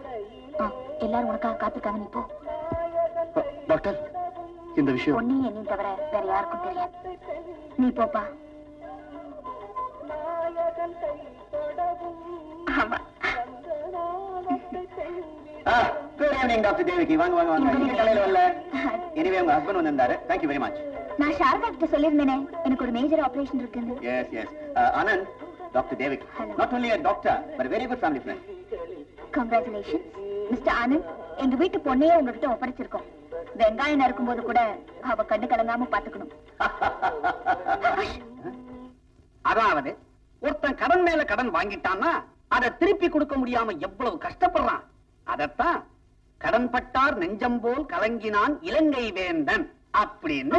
மூணு கடைக்கார வந்துட்டே இருக்காங்க. கடன்காரங்களா வந்துட்டானுங்களா?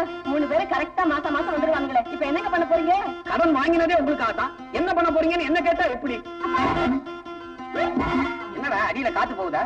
ஐயோ நீ எல்லாம் ஒரு அப்பாவா? ஒண்ணுமே புரிய மாட்டீங்க கடலுக்கு அடியில போய் சொல்றாங்க என் மகன். ஒண்ணும் புரியாதுங்களா?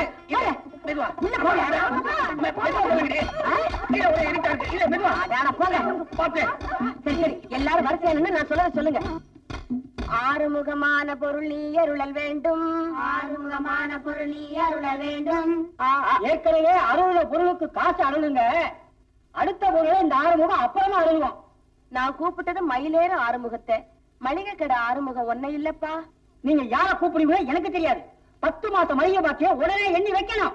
மாசம் மாசம் எள்ளு புண்ணாக்கு பறித்து கொட்டன்னு வகை வகையா வாங்கி வைக்கிறீங்களே. பணம் மட்டும் கொடுக்க மாட்டேன்றீங்களே. அதையெல்லாம் நாங்களா திங்கிறோம். மாடு தானே திங்குது அதுக்காக மாட்டுக்கிட்ட பணம் கேட்க முடியுமா? இத பாருங்க மரியாதையா பணத்தை வைங்க. சட்ட துணி வாங்கி ஆறு மாசம் ஆச்சு என்னமாச்சு? ஆறு மாசமா அதை அப்படியே வச்சுக்கிட்டு இருக்க முடியுமா? சட்டை தச்சு போட்டாச்சு. பாருங்க மாமா. சின்னதா கூட போச்சு. அது சின்னதாகலம்மா. நீ பெரிய ஆயிட்ட. அடிச்சி விடு விட்டா ஒரு ஒரு- புடவை போல் இருக்க நீ உன் புருஷங்கம்மா. வாங்க மாமா. எனக்கு ஒன்றும் கல்யாணமே ஆகல. கல்யாணமா? உனக்கு அவ்வளவு அவசரமா? ஒண்ணு என்ன கேட்டாரு எங்க உங்க வீட்டுக்கார்? எங்க ஒழிச்சு வச்சிருக்கீங்க? பணத்தை வாங்காம இந்த வீட்டை விட்டு நகர போறது இல்ல ஆமா. என்ன என்ன என்ன என்ன என்ன எல்லாம் வரிசையா உட்காந்துட்டீங்க நீங்க உட்கார்ந்துருக்கீங்களே. எனக்கு என்ன வேற வேலை இல்லையா? பணத்தை கொடுக்குறேன். இந்த வீட்டுல இருக்கிற தட்டு முட்டு சாமான் எல்லாம் அள்ளிக்கிட்டு வேற அள்ளி. ஜாக்கிரதை. என்னையா? போடா போரு போடா போன்னு பார்த்தா கண்ட மாதிரி கத்திட்டு இருக்கீங்களே. ஆம்பளை இல்லாத வீட்டுல வந்து தகராறா பண்ணிட்டு இருக்கீங்க? அக்கா நான் இருக்கேன். நீ சும்மா இருடா. எங்க அப்பா கிட்ட பணம் கொடுத்தா எங்க அப்பா கிட்ட கேளுங்க. இப்ப இடத்த காலி பண்ணுங்க. போல என் கைய பிடிச்சு இழுத்தீங்கன்னு சொல்லி போலீஸ்ல கம்ப்ளைண்ட் பண்ணிருவேன் பொம்பளை கம்ப்ளைண்ட் கொடுத்தா என்ன ஆகும் தெரியும்ல? முட்டிக்கு முட்டி தட்டி உள்ள தள்ளிடுவான் ஜாமீனே கிடையாதாம். இதெல்லாம் நமக்கு தேவையா? வாங்கய்யா. அந்த ஆள் இருக்கும் போது வரலாம். வாங்க. போங்க போங்க போங்க. போயிட்டு வந்து பாரு அப்பா அப்பா எல்லாரும் போயிட்டாங்க வெளியில வாங்க. வாங்க வாங்க வாங்க போயிட்டாங்க வாங்க வாங்கப்பா. மறைஞ்சுக்கிறதுக்கு இப்படி ஒரு வழி இருக்கு தெரிஞ்சிருந்தா கட்டில கொஞ்சம் உயரமா பண்ணிருப்பேன். நீங்க வாங்க வாங்க. பாத்தீங்களா? உங்க பொண்ணு எப்படி சமாளிச்சாவனுங்களே ஏன் பொண்ணா போதும். அளவுக்கு அதிகமா பிள்ளையில பெத்துட்டு இப்படி கடன் வாங்கி கஷ்டப்படணுமா? வெக்கமா இருக்கு. உன்னோட நிறுத்தி இருக்க கூடாது. நிறுத்தி இருக்கலாம். நீ பொண்ணா பிறந்துட்டியே உனக்கு துணையா ஒரு தம்பி வேணும்னு உங்க அப்பா தான் சொன்னாரு. தம்பி பிறப்பான் தம்பி பிறப்பான்னு அப்படியே முயற்சி பண்ணி இந்த விபத்தெல்லாம் ஏற்பட்டு கடைசியில தம்பி பிறந்தான். கொஞ்சம் முதல்லயே பிறந்திருக்க கூடாது. லேட்டு. அப்பா. என்னப்பா? எனக்கு ஒரு தம்பி வேணும்ப்பா. தம்பியா? என்ன மயக்கம்? தம்பிக்கு தம்பி போல இருக்கு. சொல்லவே இல்லையே. இன்னொரு ட்ரெஸ் ரெடி பண்ணி வச்சிருப்பேன்ல. சும்மா இருங்க. தம்பி அவன தம்பி. கல்ல வட. தம்பி மேல ஒண்ணும் இல்ல ஹலோ நான் ராமநாதன் பேசுறேன். மேனேஜர் கணேச வைக்கக்கூடியா அரே நீ தான் பேசுறியா? ஏய் வர புதன்கிழமை நம்ம மாப்பிள்ளையும் பொண்ணும் ஹனிமூனுக்கு அங்க வராங்க. ஆமா எல்லா ஏற்பாடும் கரெக்டா இருக்கணும். ஆமா கொஞ்சம் இரியா. ஆமா என்ன கேட்டாலும் கொடுக்கணும். அது இல்ல இது இல்லன்னு சொன்னா எனக்கு ரொம்ப கோவம் வரும். ஊரை சுத்தி காட்டுறேன்னு அவங்க பின்னாலேயே போய் டிஸ்டர்ப் பண்ணிட்டு இருக்காத அவங்க ஊரை சுத்தி பார்க்கறதா முண்டம். ஹனிமூனுக்கு வராங்கடா ஹனிமூனுக்கு ஏதாவது தப்பு நடந்தது போன்லயே ஒழுப்பம் ஒண்ணு. ஆமா. கவனிச்சுக்கிறியா? சரி. மறந்துடாதடா. புதன்கிழமை காலையில வராங்க. வச்சிருவா டாக்டர்மா ஊசி. அடுத்த ஊசி அடுத்த வாரம் தான் வரேன் ஊசி போட்டாச்சா? ஊருக்கு போறதுக்கு முன்னாடி உண்மையை சொல்லிட்டு போலாம்னு நினைக்கிறேன். நோ இத நான் அனுமதிக்க மாட்டேன். ஆபரேஷன் ஆகி இன்னும் ஒரு வாரம் கூட ஆகல. உன் உண்மையை ஜீர்ணிக்கிற சக்தி அவளுக்கு இன்னும் வரல. கட்டின பொண்டாட்டியோட ஹனிமூன் போக போறேன்னா நெஞ்சில சுமையோட தான் போடுமா? ஆனந்த் உயிரை கொடுத்த நீயே அவ உயிருக்கு உபத்திரவம் கொடுக்கணும்னு விரும்பினா உண்மையை சொல்லிட்டு போ. அவ விடுவுக்கு காரணமா இருந்த நீயே அவ முடிவுக்கும் காரணமா இருக்கணும்னு நினைச்சா தாராளமா சொல்லிட்டு நிம்மதியா போ. போ. டாக்டர் சாந்திக்கு தெரியாம புது வாழ்க்கை தொடங்கலனா ஒரு தெளிவோட வாழணும்னு ஆசைப்படுறேன். ப்ளீஸ் என்ன புரிஞ்சுங்க டாக்டர்? புரியுதுப்பா. நீ ஊருக்கு போயிட்டு வா. உன் பிரிவு அவளை பாதிக்கலனா கொஞ்சம் கொஞ்சமா நானே அவ மனசை மாத்தி உண்மையை அவளுக்கு புரிய வைக்கிறேன். காட் இப்ப நான் அவகிட்ட என்ன சொல்லிட்டு ஊருக்கு போறது? ஏதாவது ஆபீஸ் விஷயமா டூர் போறேன்னு போய் சொல்லு. தப்பில்ல. ஆனா மனசுல இருக்கிறத மட்டும் வெளியில கொட்டிடாத. போ.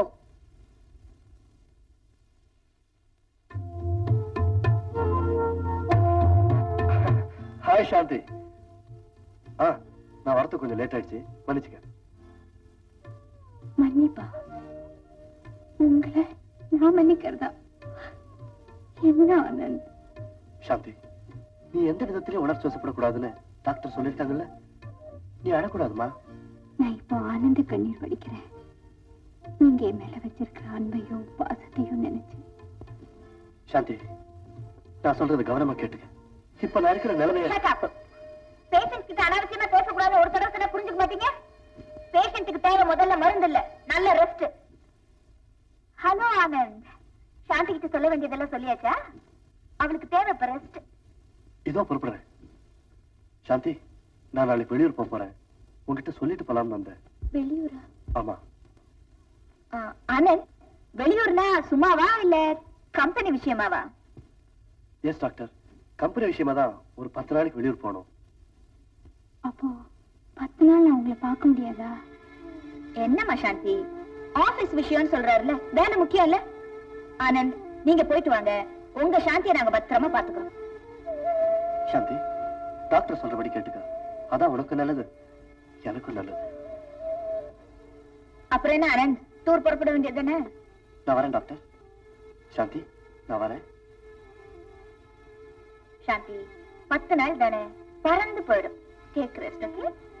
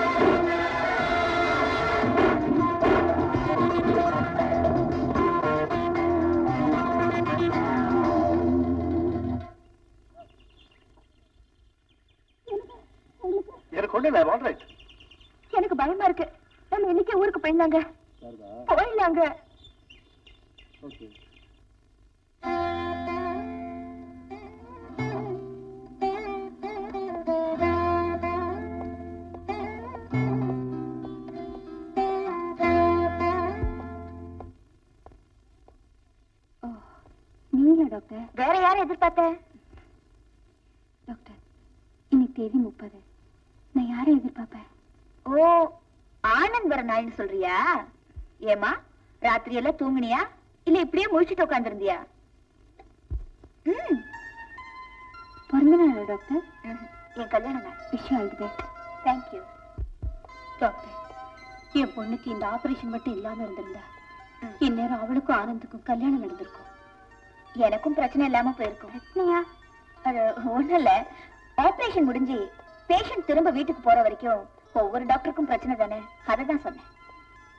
உங்களை பொறுத்த வரைக்கும் என் பிரச்சனை எப்ப தீரும்? வாட் யூ மீன் இல்ல நான் எப்ப டிஸ்சார்ஜ் ஆவேன்னு கேட்டேன்.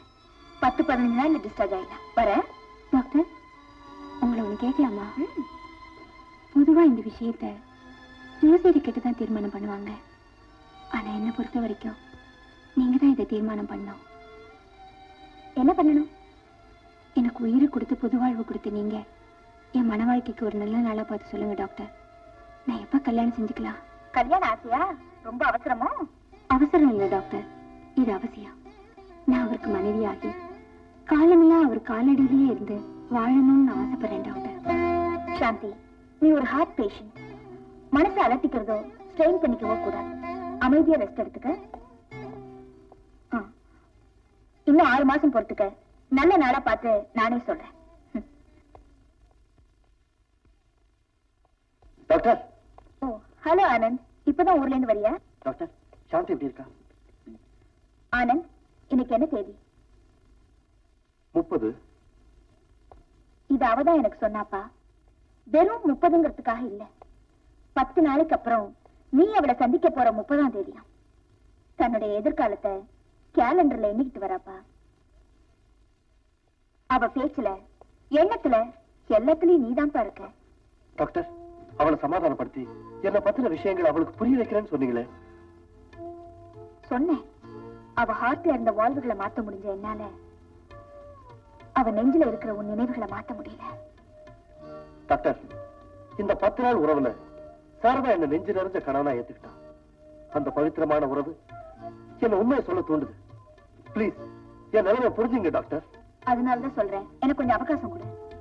ஆபரேஷன் பண்ணி கிடக்குற அந்த உயிருக்கு பலமும் பக்குவமும் வரட்டும். அப்புறம் பேசிக்கலாம். டாக்டர் நான் சாந்தியை பார்க்கலாம். பார்க்கலாமே. பேசலாமா? பேசலாம். ஆனா சாரதாவுடைய கணவனா இல்ல. சாந்தியுடைய பழைய காதலனா மைண்ட் சாந்தி நான் போய் சுடுதண்ணி கொண்டு வந்துடுறேம்மா.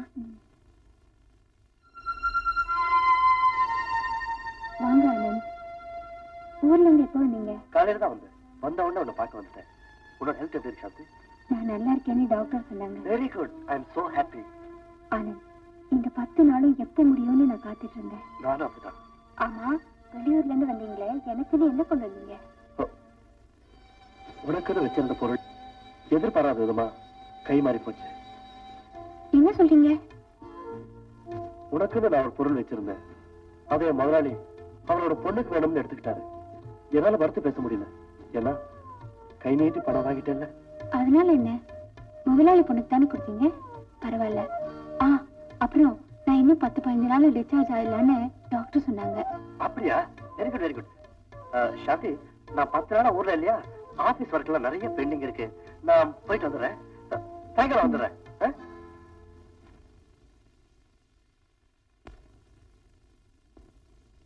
ஆபீஸ்ல வேலை இருக்கா? சாயங்காலம் வரேன்னு சொல்லிட்டு போறாருமா. சார்? என் கடனுக்கு என்ன சொல்ல போறீங்க?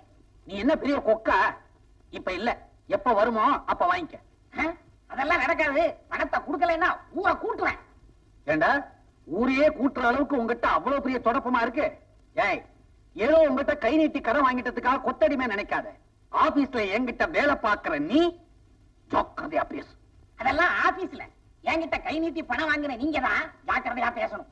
இனிமே நான் பேச மாட்டேன். எங்க பரம்பரை அறுபதாம் பேசு அவரை வெட்டாதீங்கப்பா. கத்தியா பேசுது. இல்லப்பா உங்க மகன் லட்சுமி தான் பேசுறேன் அவரை வெட்டிட்டீங்கன்னா உங்க மகன் வாழ முடியாதுப்பா. அவரை வெட்டுறதுக்கு முன்னாடி எனக்கு ஒரு வெள்ளப்படம் வாங்கி கொடுத்துட்டு வெட்டுங்கப்பா. வெள்ளப்படவையா? என்னடி சொல்ற? அம்மா அவர் இல்லாம நான் இல்ல. நான் இல்லாம அவர் இல்ல. நாங்க ரெண்டு பேரும் போருடன் ஈருயிர். மடி மீது தலை வைத்து விடியும் வரை தூங்குவோம். என்னது? மடி மீது தலை வைத்து விடியும் வரை தூங்குவீங்களா? பலம் அது எப்படி? இது ரொம்ப முக்கியம் இப்போ. உங்க பொண்ணு இந்த ஆப்பிரிக்கா தேசத்துக்கு அரடி குட்டியே காதலிக்கிறாளாம் ஓஹோ! அவ்வளவு தூரத்துக்கு வந்துருச்சா? இந்த கற்கால மனிதனோட காதல் வேண்டி கிடக்கா? போகல இனிமே கடன் சொல்லிக்கிட்டோ இல்ல காதல்னு சொல்லிக்கிட்டோ இந்த வீட்டுக்குள்ள வந்த ஒண்ணு உன்னை வெட்டி விடுவேன். இல்ல என்ன வலுப்பிக்குவேன் போங்க எல்லாரும். ஆச்சரியமா இருக்குதே. இப்படி அருவாவுக்கு பயப்படுவாங்கன்னு தெரிஞ்சிருந்தா அன்னிக்கே தூக்கி இருப்பேனே இந்த அருவாளை. வீட்டுக்கு போனதுக்கு அப்புறம் கஷ்டமான எந்த வேலையும் செய்யக்கூடாது. அதிகமான துக்கத்துக்கோ அதிகமான சந்தோஷத்துக்கோ இடம் கொடுக்காது. முக்கியமா எந்த விதமான உணர்ச்சிக்கும் இடம் தராது. அண்டர்ஸ்டாண்ட் அப்புறம் மாசத்துக்கு ஒரு தடவை செக்அப் போறணும் ஓகே அடுத்த மாசம் எப்போ வரணும்? சொல்றேன்.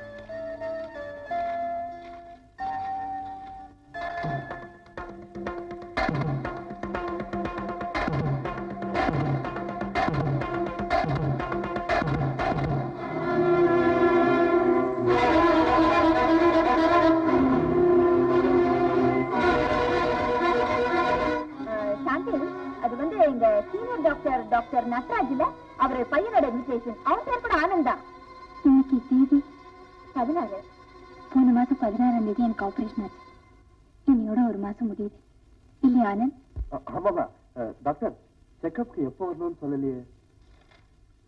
அடுத்த மாசம் இருபதாம் தேதி வாங்கல ஆ, சாந்தி நம்ம போலாமா? ஆனந்த் நம்ம கல்யாண இன்விடேஷனும் இதே மாதிரி பெருசா அச்சடிக்கணும் முதல் இன்விடேஷன் உங்களுக்கு தான் டாக்டர் தேங்க்ஸ் சாந்தி வரேன் டாக்டர் ஆனந்த் சாந்தியை ஜாக்கிரதையா பாத்துக்க. சாந்தி.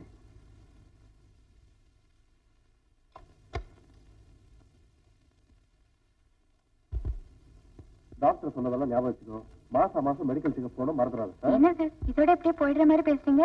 நீங்க தானே என்ன வந்து கூப்பிட்டு போகணும்? ஆமாம்மா. குடிச்சிட்டு வந்துருங்க தம்பி. இங்கேயே சாப்பிட்டு போலாம்.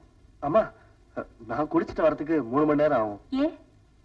நான் இப்போ நீங்க நினைக்கிற மாதிரி பக்கத்துல இல்ல. உங்களை விட்டு ரொம்ப தூரம் போயிட்டேன். என்ன சொல்றீங்க? நான் இப்ப பக்கத்தரவில் இல்ல. நான் சொல்லல புது முதலாளி. அவர் வீட்லயே எனக்கு தங்க இடம் கொடுத்திருக்காரு. நான் அவர் கூடவே இருந்து அவருக்கு வேண்டிய வேலைகள்லாம் கவனிக்கணும். அந்த கண்டிஷன்ல தான் அவர் எனக்கு பணமும் கொடுத்திருக்காரு வேலையும் கொடுத்திருக்காரு. நான் அடிக்கடி வந்து உன்னை பாத்துக்கிறேன் நீ உடம்பு பாத்துக்க நான் வரேன். வாமா டிஃபன் சாப்பிடலாம். நான் அப்புறம் சாப்பிடுறேன்ப்பா. சாய் ஃபைனான்ஸ் மேனேஜிங் ம். பேப்பர்ல என்ன போட்டிருக்கு? எங்க அப்பாவுக்கு வயசாயிடுச்சுன்னு போட்டிருக்காங்க. இதெல்லாம் கூட பேப்பர்ல போடுறானா? பரவாயில்லையே. விளையாடாதீங்கப்பா. ஏப்பா வழக்கம் போல நம்ம வீட்டு விஷயத்த பேப்பர்ல பார்த்தா தெரிஞ்சுக்கணுமா? என்னம்மா சொல்ற எனக்கு ஒண்ணுமே புரியலையே. அவர் எம்டி ஆக்கின விஷயத்த என்கிட்ட ஏன் சொல்லுங்க? ஓ இத சொல்றியா? சடன் நியூஸ்ல தான் சர்ப்ரைஸே இருக்கு. உனக்கு எதிர்பாராத சந்தோஷத்தை கொடுக்கணும் தான் இதை நான் முன்கூட்டியே சொல்லல. இப்ப சந்தோஷம் தானே? Yes come in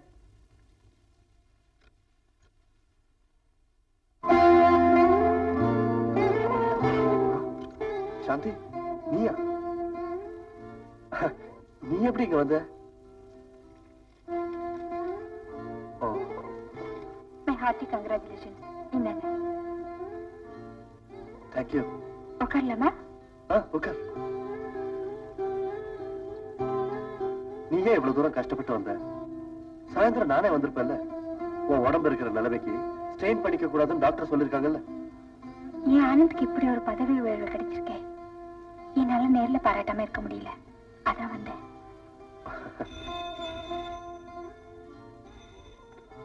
Anand here congratulations thank you யார் பேசுறது?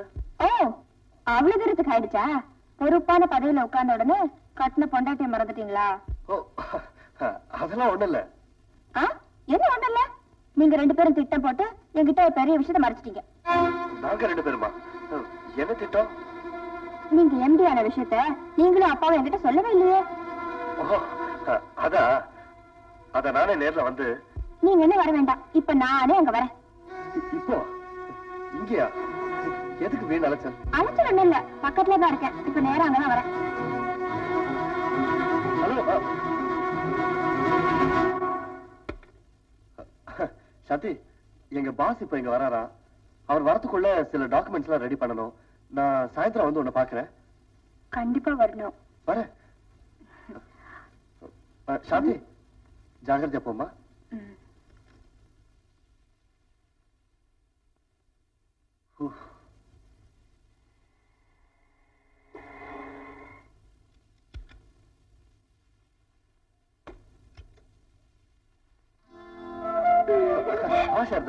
congratulations Sai finance corporation managing டைரக்டருக்கு மிஸ்ஸஸ் ஆனந்தோட வாழ்த்துக்கள். தேங்க்யூ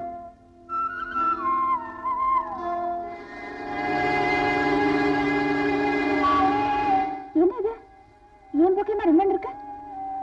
யாரோ முந்திக்கிட்டாங்க போல இருக்கு உங்களை வாழ்த்துறதுல. எஸ் ஆமா. அது வெறும் வாழ்த்தா தான் இருக்கும். இப்ப நான் உங்களுக்கு ஒரு பிரசன்ட் பண்ண போறேன்.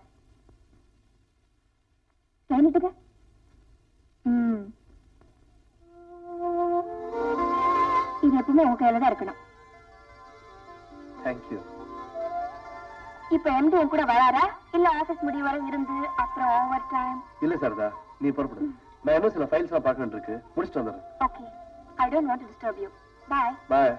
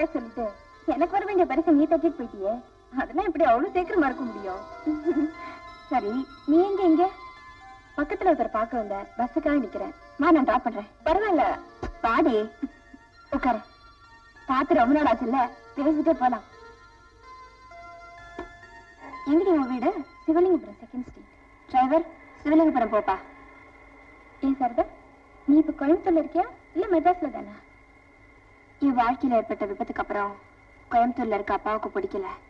மெட்ராஸ்ல செட்டில் ஆயிட்டோம். ஆமா சந்தி. எப்ப மெட்ராஸ் வந்த? ஒரு வருஷம் ஆச்சு. ஆறு மாசத்துக்கு முன்னால அப்பா தவறிட்டாரு. அதுக்கப்புறம் நான் ஒரு வேலைக்கு போக ஆரம்பிச்சேன். டிரைவர் கொஞ்சம் மெதுவா போங்க. என்ன சாந்தி? உடம்புக்கு என்னமா மூணு மாசத்துக்கு முன்னால எனக்கு ஒரு ஆபரேஷன் ஆச்சு. ஆபரேஷனா ஆமா. ஹார்ட் ஆபரேஷன் அந்த ஆபரேஷன் மட்டும் நடந்திருக்கலன்னா நான் இறந்து மூணு மாசம் ஆயிருக்கும். சாந்தி ஆனா அஸ்தமனமாகி இருக்க வேண்டிய என் உயிருக்காக பணத்தை செலவு பண்ணி என்னை காப்பாத்தினவரு என்னை கட்டிக்க போற ஒரு நல்லவரு. இஸ் கிரேட் சாந்தி இந்த ஒரு வருஷத்துக்குள்ள நம்ம ரெண்டு பேர் வாழ்க்கையில எவ்வளவு மாறுதல் பத்தியா? ஆமா உங்ககிட்ட ஒரு மாறுதல் தெரியுது. ஓ இது சொல்றியா? சமுதாயத்தால ஒதுக்கப்பட்ட எனக்கு சுமங்கலிங்கிற பட்டத்தை கொடுக்க அப்பா ஒருத்தர் தேர்ந்தெடுத்தாரு. அவரும் என்ன புரிஞ்சுக்கிட்டு என்ன மனைவியா ஏத்துக்கிட்டாரு. என் மேல ரொம்ப பிரிய வச்சிருக்காரு. ரொம்ப நல்லவரு. He is also really great அந்த நல்லவரை நான் பார்க்கணும்டி. பாத்தீங்கன்னா அப்படி அசந்து போயிடுவேன் ஏன்னா ரெண்டு பேரும் ஒண்ணுதான். என்னடி சொல்ற? தாலி கட்டி எனக்கு ஒருத்தர் வாழ்வு கொடுத்திருக்காரு. தாலி கட்டாமலே உனக்கு ஒருத்தர் வாழ்வு கொடுத்திருக்காரு. உள்ளத்தால ரெண்டு பேரும் ஒண்ணுதான்னு சொன்னேன். ஓ அதான் சொல்றியா? டிரைவர் இந்த பக்கம் திரும்பி செகண்ட் ஹவுஸ்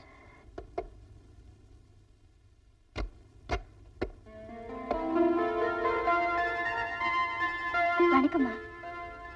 இன்னும் அப்படி பாக்குறீங்க? நம்ம சாரதா?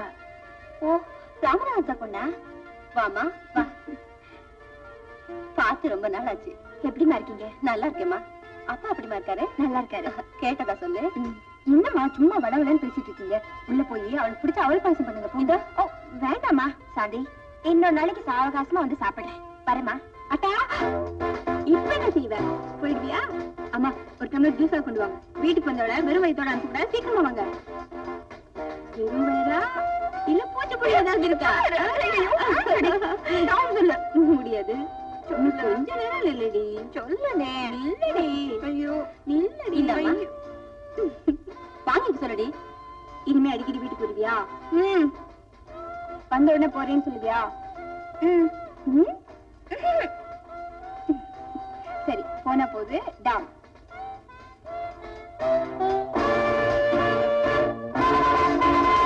இந்நேரம் ஒரு ஆபீஸ்ல வந்திருக்கணும். நான் போய் வரேம்மா. பாய் சாந்தி. என்னம்மா? அவர் இவருன்னு ஏதோ சொல்ற? வாங்கம்மா சொல்றேன்.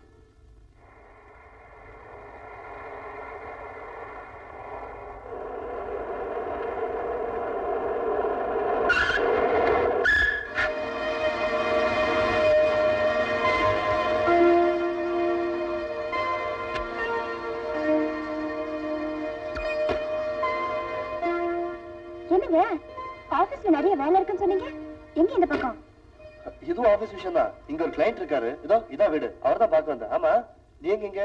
வர்ற வழியில என்னுடைய ஓல்ட் ஃப்ரெண்ட் சாந்திய பார்த்தேன். அவ வீடு கூட இங்கதான் இருக்கு. இங்கதான் சிவலிங்கபுரம் செகண்ட் ஸ்ட்ரீட்ல இருக்கா. இப்பதான் டிராப் பண்ணிட்டு வரேன். வீட்டுக்கு தானே போறீங்க? முதல்ல கிளைண்ட்டை பார்க்கணும். அதுக்கப்புறம் தான் வீடு. நீ புறப்படு. நானும் உங்க கூட வந்துடுறேன். டிரைவர் வண்டி எடுத்துட்டு போப்பா. நீங்க போய் பேசிட்டு வாங்க நான் வண்டியில இருக்கேன்.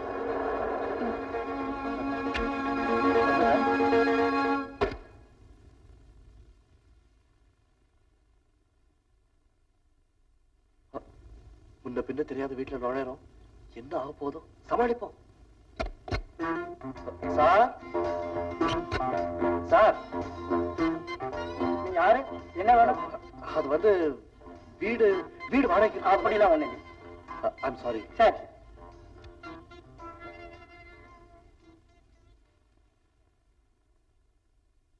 என்ன இவ்வளவு சீக்கிரம்? அவர் ரெடியா இருந்தாரு. அதான் சீக்கிரம் பேசிட்டு உடனே வந்துட்டேன். என்னங்க? வாங்களே. சாந்தியை பார்த்துட்டு போயிடலாம். கொஞ்சம் டயர்டா இருக்கு. இன்னொரு நாளைக்கு போலாமே.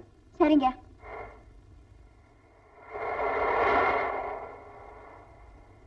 என்னங்க?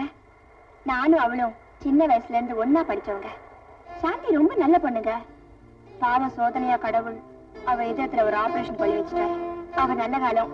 அவளை காதலிச்ச ஒரு நல்ல மனுஷன் பணத்துக்கு ஏற்பாடு செஞ்சு ஆபரேஷன் பண்ணி அவளை காப்பாத்திட்டாரு. சாந்தி மேல உயிரை வச்சிருக்காங்க. கூட சீக்கிரம் ரெண்டு பேரும் கல்யாணம் பண்ணிக்க போறாங்களா? ஆமா. ஏங்க நாமளே முன்ன நின்னு அவன் கல்யாணத்தை நடத்தி வச்சிடலாமா? என்னங்க நான் பாட்டுக்கு பேசிட்டே இருக்கேன். நீங்க பதிலே சொல்ல மாட்டேன்றீங்க? என்ன ஆச்சு உங்களுக்கு?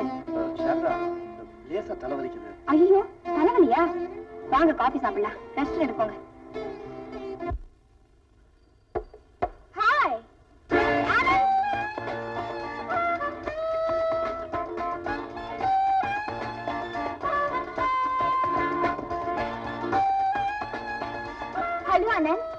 my wife Sharada hi hello oh Anand எங்களெல்லாம் மறந்துட்டு. பாக்குறதே இல்ல. ஆபீஸ் விட்டு போன அப்புறம் போன் கூட பண்றது இல்ல யா ஓகே. ஆமா உன்னை சுத்திக்கிட்டே இருந்தானே மதன். எங்க அவன்? ஓ ஹிஸ் தேர் இப்ப கூட என் பின்னாடி சுத்தின்னு தான் இருக்கு. ஏய் Madan come you know Madan இப்ப ரொம்ப சேஞ்ச் ஆச்சு. பொண்ணுக்கு பின்னாடி சுத்தது இல்ல என் பின்னாடி தான் சுத்துது. அடுத்த மாசம் அதுக்கு எனக்கு கல்யாணம். உனக்கும் அதுக்குமா? எதுக்கும்? மதனுக்கு. முதல்ல கல்யாணம் பிடிக்கலன்னா divorce talks joke hi Madan meet my wife ஆமா நீ ரொம்ப சேஞ்ச் ஆயிட்ட. ஐ மீன் நல்லவனா மாறிட்டேன்னு ரீட்டா சொன்னா? நான் மட்டுமா? உலகமே சேஞ்ச் ஆகுது. கெட்டவன்லாம் நல்லவனா மாறுறான். நல்லவன்லாம் கெட்டவனா மாறுறான். இட்ஸ் குவைட் நேச்சுரல் இல்லையா? ரீட்டா போலாமா? மேரேஜ் இன்விடேஷன் அனுப்புறேன் கண்டிப்பா வரணும். மறந்துடாதே. இது ஞாபகத்துக்கு.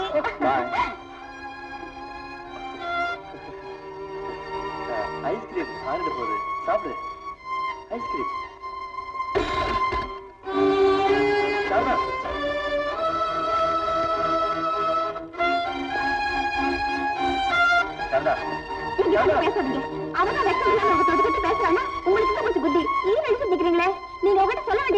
இப்படி எல்லாம் தொட்டு தொட்டு பேசாத. என் பொண்டாட்டிக்கு பிடிக்காதுன்னு. அவன் பழைய ஆபீஸ் ஸ்டாஃப் எல்லார்கிட்டயும் இப்படிதான் தொட்டு தொட்டு பழகுவா. அவன் ஒண்ணும் தப்பானவன் இல்ல. ரொம்ப வெகுளி.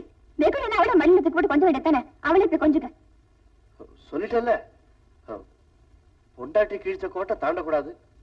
மனைவியோட பேச்சை கேட்கறது தான் நீதி நியாயம் தர்மம் எல்லாமே. ஆமா மடியில இருந்தானே சொன்னேன். போயிட்டு சீக்கிரம் வந்துடுறேன். இன்னொரு வாட்டி அப்படி எல்லாம் பேசாதீங்க. என்னால தாங்கிக்க முடியாது. உங்களை யாரும் தொடக்கூடாது. நான் தான் உங்களை தொடுவேன். நான் தான் உங்களை கிள்ளுவேன். நான் தான் அடிப்பேன். எல்லாம் நான் தான். ஏன்னா நீங்க முழுக்க முழுக்க எனக்கு தான் சொந்தம். Anand Anand Anand I love you so much. இவ்வளவா? இன்னும் இவ்வளவு? இன்னும் இவ்வளவா? இன்னும் இவ்வளவா? இவ்வளவு. என்னங்க என்னங்க? நம்ம லட்சுமி காணுங்க? ஆமா. இப்ப இதுதான் சர்வதேச பிரச்சனை. எங்கேயாவது கட்ட வித்துக்கிட்டு நடு ரோட்ல நிக்கும். போற வரவன் சட்டைய கடிக்கும். பால் போஸ்டர் திங்கும். ஐயோ நான் மாட்டு லட்சுமி சொல்லல. நம்ம மகாலட்சுமியை காணோம். மகாலட்சுமிய ஆமா. அப்பா அக்காவை தேடும்போது இந்த லெட்டரை கொடுக்க சொல்லிச்சு. இந்த புடி. நல்லா படி. ஏண்டா நீ என்ன அக்காவுக்கு போஸ்ட் ஆபீஸா அவனை விடுங்க என்ன எழுதிருக்கான்னு படிங்க. என்ன இது தலைகீழ எழுதி இருக்கிறா நீங்க தலைகளை பிடிச்சிருக்கீங்க. அன்புள்ள அப்பாவுக்கு லட்சுமி வணக்கம். வணக்கம் எனக்கு மட்டும்தான் இது ரொம்ப முக்கியம் இப்ப. படிங்கங்க. உங்ககிட்ட சிங்காரம் பணத்தை கடனா கொடுத்தாரு. ஆனா நான் அவர்கிட்ட மனசு கொடுத்துட்டேன். நீங்க வாங்கின பணத்தை திருப்பி கொடுக்க முடியாது. நான் அவர்கிட்ட கொடுத்த இதயத்தை திருப்பி கேட்க முடியாது. மனசுக்கு பிடிச்சவரோட புது உலகத்துக்கு பறந்து போறேன் கிளிக்கு ரெக்க முளைச்சிச்சுடி அதான் பறந்துடுச்சு. ரெக்க முளைச்சா பறக்கணுமா? பறக்கணும்னா ரெக்க முளைக்கணும்டி அப்போ ரெக்க முளைச்சதெல்லாம் பறக்கும்னு சொல்றீங்களா? ரெக்க இல்லைன்னா பறக்க முடியாதே. ரெக்க? சந்தானம். அது உங்க பேருங்க. தெரியுமடி ஏய் சந்தானம். உன்னை ஏமாத்தினவனை சும்மா விடப்படாது பாலாமணி நம்ம பரம்பரை எடு. வேண்டாங்க.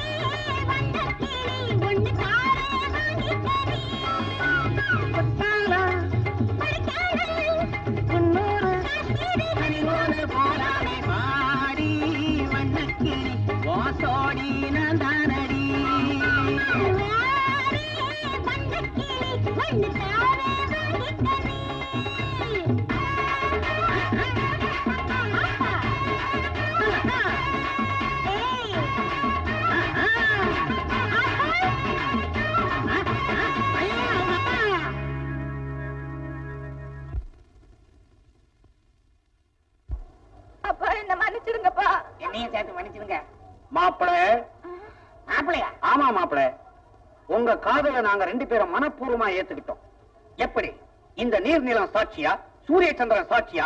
இந்த அண்ணாட்டவர் சாட்சியா? இதுவரைக்கும் உங்க ஆட்டத்தை பொறுமையா பார்த்துக்கிட்டு இருந்த இந்த மக்கள் சாட்சியா? இந்த பரம்பரை அருவாளை கொடுத்து உன்னை எங்களுடைய மருமகனா அங்கீகாரம் பண்ணுகிறோம். கட்டி பிடிக்கிறது அங்க? கால்ல விழுகிறதா இங்க? செருப்பை உருவிட போறேன்.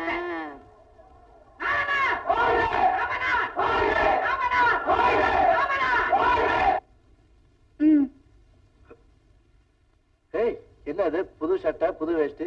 இன்னைக்கு என்ன விசேஷம்? இன்னைக்கு என்ன தேதி? இருபதாம் தேதி. இன்னைக்கு என் கணவரோட பிறந்த நாள் விஷ் ஹாப்பி பர்த்டே.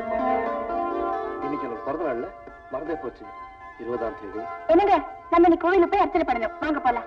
இல்ல சாரதா வந்து இன்னைக்கு எனக்கு ஆபீஸ்ல முக்கியமான வேலை இருக்கு. நீங்க ஆபீஸ்க்கெல்லாம் போக கூடாது போன் பண்ணி வர மாட்டேன்னு சொல்லிடுங்க. சாரதா ரெண்டு மூணு முக்கியமான லெட்டர்ஸ் நான் தான் டிக்டேட் பண்ணணும். நான் வேணா போய் சொல்லிட்டு வந்துடுறேன். நீ ரெடியா இரு. நான் ரெடியா தான் இருக்கேன். நீங்க போய் சீக்கிரம் வாங்க. இதோ வந்துட்டேன். ஏமாத்தத்தை என்னால தாங்கிக்க முடியாதுன்னு தெரிஞ்சும் நீங்க என்ன ஏமாத்திருக்கீங்க. பின்ன என்ன? நேற்று நீங்க வரேன்னு வரல ஓ அத சொல்றியா? நான் நேத்து உன்னை பார்க்க தான் வந்தேன். வர்ற வழியில என் ஃப்ரெண்டு கிட்ட மாட்டிக்கிட்டேன். அவன் கூட வெளியே போனதா போச்சு. அதான். ஆமா பெரிய ஃப்ரெண்டு இங்க வந்திருந்தா என் ஃப்ரெண்ட பாத்துருக்கலாம்ல என் உயிர் தோழி சாரதாவ ரொம்ப நாளைக்கு அப்புறம் நான் பார்த்தேன். இங்க வந்திருந்தா உங்களை பத்தி சொன்ன உடனே உங்களை பார்க்கணும்னு சொன்னா நீங்க தான் வரல. ரொம்ப நேரம் வெயிட் பண்ண தெரியுமா? சாரதா ரொம்ப நல்ல பொண்ணுங்க. முதல் வாழ்க்கையை பறி கொடுத்த அவளுக்கு சமீபத்துல ஒரு நல்ல மனுஷன் புது வாழ்க்கை கொடுத்திருக்காரு. அவன் மேல அவருக்கு ரொம்ப உயிர். அவளும் புருஷனை தலைமையில தூக்கி வச்சுட்டு கொண்டாடுறா. ஆஹா ஓஹோன்னு புகழறா. அப்படியா? அவ ஹஸ்பண்ட கூட்டிட்டு ஒரு நாள் வரேன்னு சொல்லியிருக்கா. அதுக்கு முன்னால நம்ம ஒரு நாள் அவ வீட்டுக்கு ஆண்டி.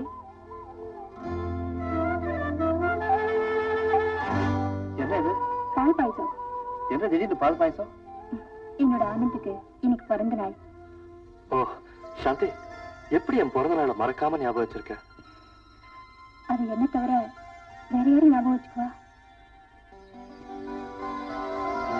சாந்தி இன்னைக்கு நீ ஆஸ்பத்திரிக்கு செக்கப் போக வேண்டிய நாள். அதை சொல்லிட்டு போலாம் தான் வந்தேன். அப்புறம் என்னால உன் கூட வர முடியாது. ஏன்னா எனக்கு ஆபீஸ்ல கான்ஃபரன்ஸ் இருக்கு. நீ மட்டும் போயிட்டு வா. அப்ப நீங்க வரலையா? இல்லம்மா எனக்கு முக்கியமான வேலை இருக்கு. நெக்ஸ்ட் டைம் வரேன். போயிட்டு வரேன்.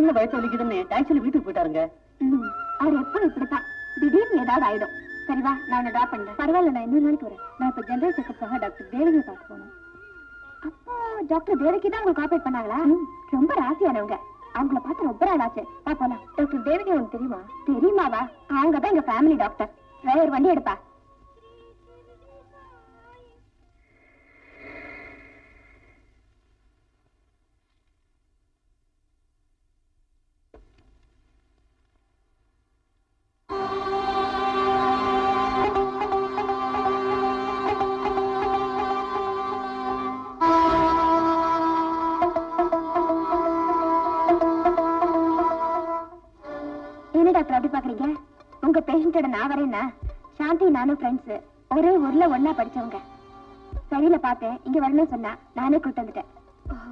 கமின் என்ன சாந்தி மருந்தெல்லாம் ஒழுங்கா சாப்பிடுறியா? ஒண்ணு ஸ்ட்ரெயின் பண்ணிக்கலையே. ம்.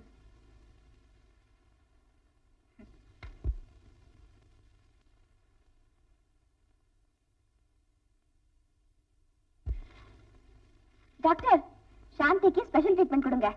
எவ்வளவு செலவழகும் பரவாயில்ல. நான் கொடுக்குறேன். ரெண்டு பேரும் அவ்வளவு நெருக்கமா? ஆமா டாக்டர். சாந்தி சின்ன வயசுல இருந்தே எதையும் வாயை திறந்து கேட்க மாட்டா. ஆனா நான் எனக்கு வேண்டிய பொருளை அவ கிட்ட இருந்தே அவளை கேட்காமலே ஒரு எடுத்துப்பேன். அவளும் கொடுத்துருவா. யூ லக்கி சாந்தி மாதிரி ஃப்ரெண்டு கிடைக்கிறதுக்கு. சாந்தி உன்னை பொறுத்த வரைக்கும் எல்லாமே முடிஞ்சு போயிடுச்சு. ஐ மீன் செக்அப் முடிஞ்சு போச்சுன்னு சொன்னேன். கெரப் கெரப் டாக்டர் சாந்திக்கு எப்படி இருக்கு? ஷீஸ் ஆல் ரைட் நல்ல ரெஸ்ட் எடுத்தா எல்லாம் சரியா போயிடும். அப்ப நான் வரேன் டாக்டர் ஓகே வரேன் ம்.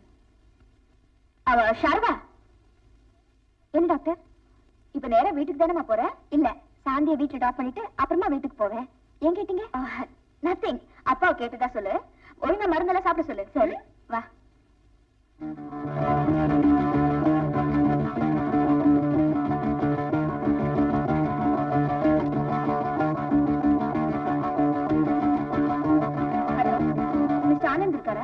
இல்லைங்க இன்னைக்கு எம்டி ஆபீஸ் வரமாட்டாங்க.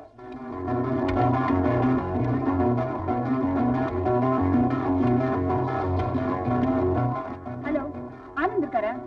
சின்னையா அம்மா கூட கோவிலுக்கு போயிருக்காரு இப்போ வந்துருவாங்க. இது வர இத்தோட உங்க வீட்டுக்கு ரெண்டு மூணு தடவை வந்தாச்சு. நீ நாளைக்கு எங்க வீட்டுக்கு கட்டாயமா வரணும். சரிதா சரிடி. Address number eighty eight Vivekananda colony Madras twenty eight கட்டாயமா வரணும். வரேன்டி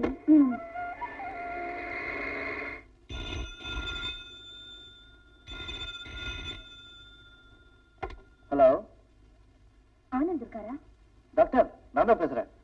பக்கத்துல சாரதா இல்லையே? எந்த உண்மை யாருக்கு தெரியக்கூடாதுன்னு பயந்துகிட்டு இருந்தோமோ அவங்களுக்கு அந்த உண்மை தெரிஞ்சிடும் போல இருக்குப்பா. எது டாக்டர் நீ சாரதாவோட புருஷன்னு சாந்தியும் சாந்தி உன்னுடைய காதலியும் சாரதாவும் தெரிஞ்சுக்கிற நாள் ரொம்ப தூரத்துல இல்ல. சாந்தியோட உன் மனைவி சாரதா என் நர்சிங் ஹோம்க்கு வந்திருந்தா.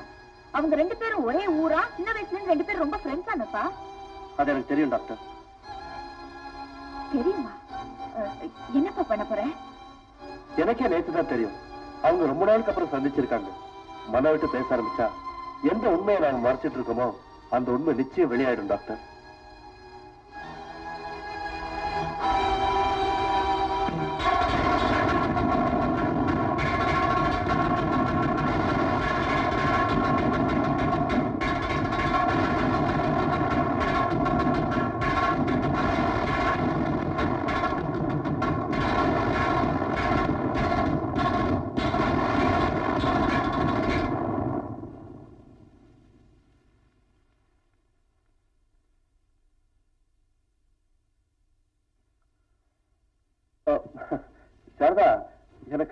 திடீர்னு வயிற்று வந்துருச்சு. உனக்கு தான் தெரியுமே. அதான் டிரைவர் கிட்ட சொல்லிட்டு வந்துட்டேன்.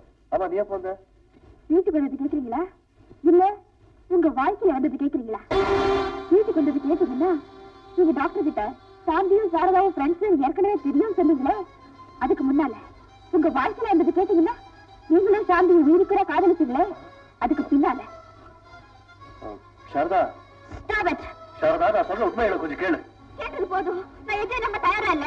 நீங்க நல்லா ஏமாத்திட்டீங்க. நான் உங்களை நம்ப மாட்டேன். நீங்க நல்லா ஏமாத்திட்டீங்க. சாரதா என்னமா நடந்தது? என்னப்பா நடக்கணும்? எல்லாமே நடந்து போச்சு.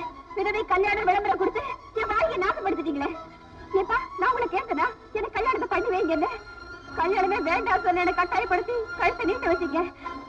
ஆதி மனசுல நான் கட்டிக்கிட்ட தாலிக்கு எனக்கு கிடைச்சிருக்கிறது பாதி புடிச்சதாப்பா இன்னொரு பாதி ஏற்கனவே இன்னொருத்தி கொப்படிச்சிட்டு இன்னும் அவளுக்கா குறுகிட்டு இருக்காரு. நீ கண்டுபிடிச்ச பெரிய மாப்பிளை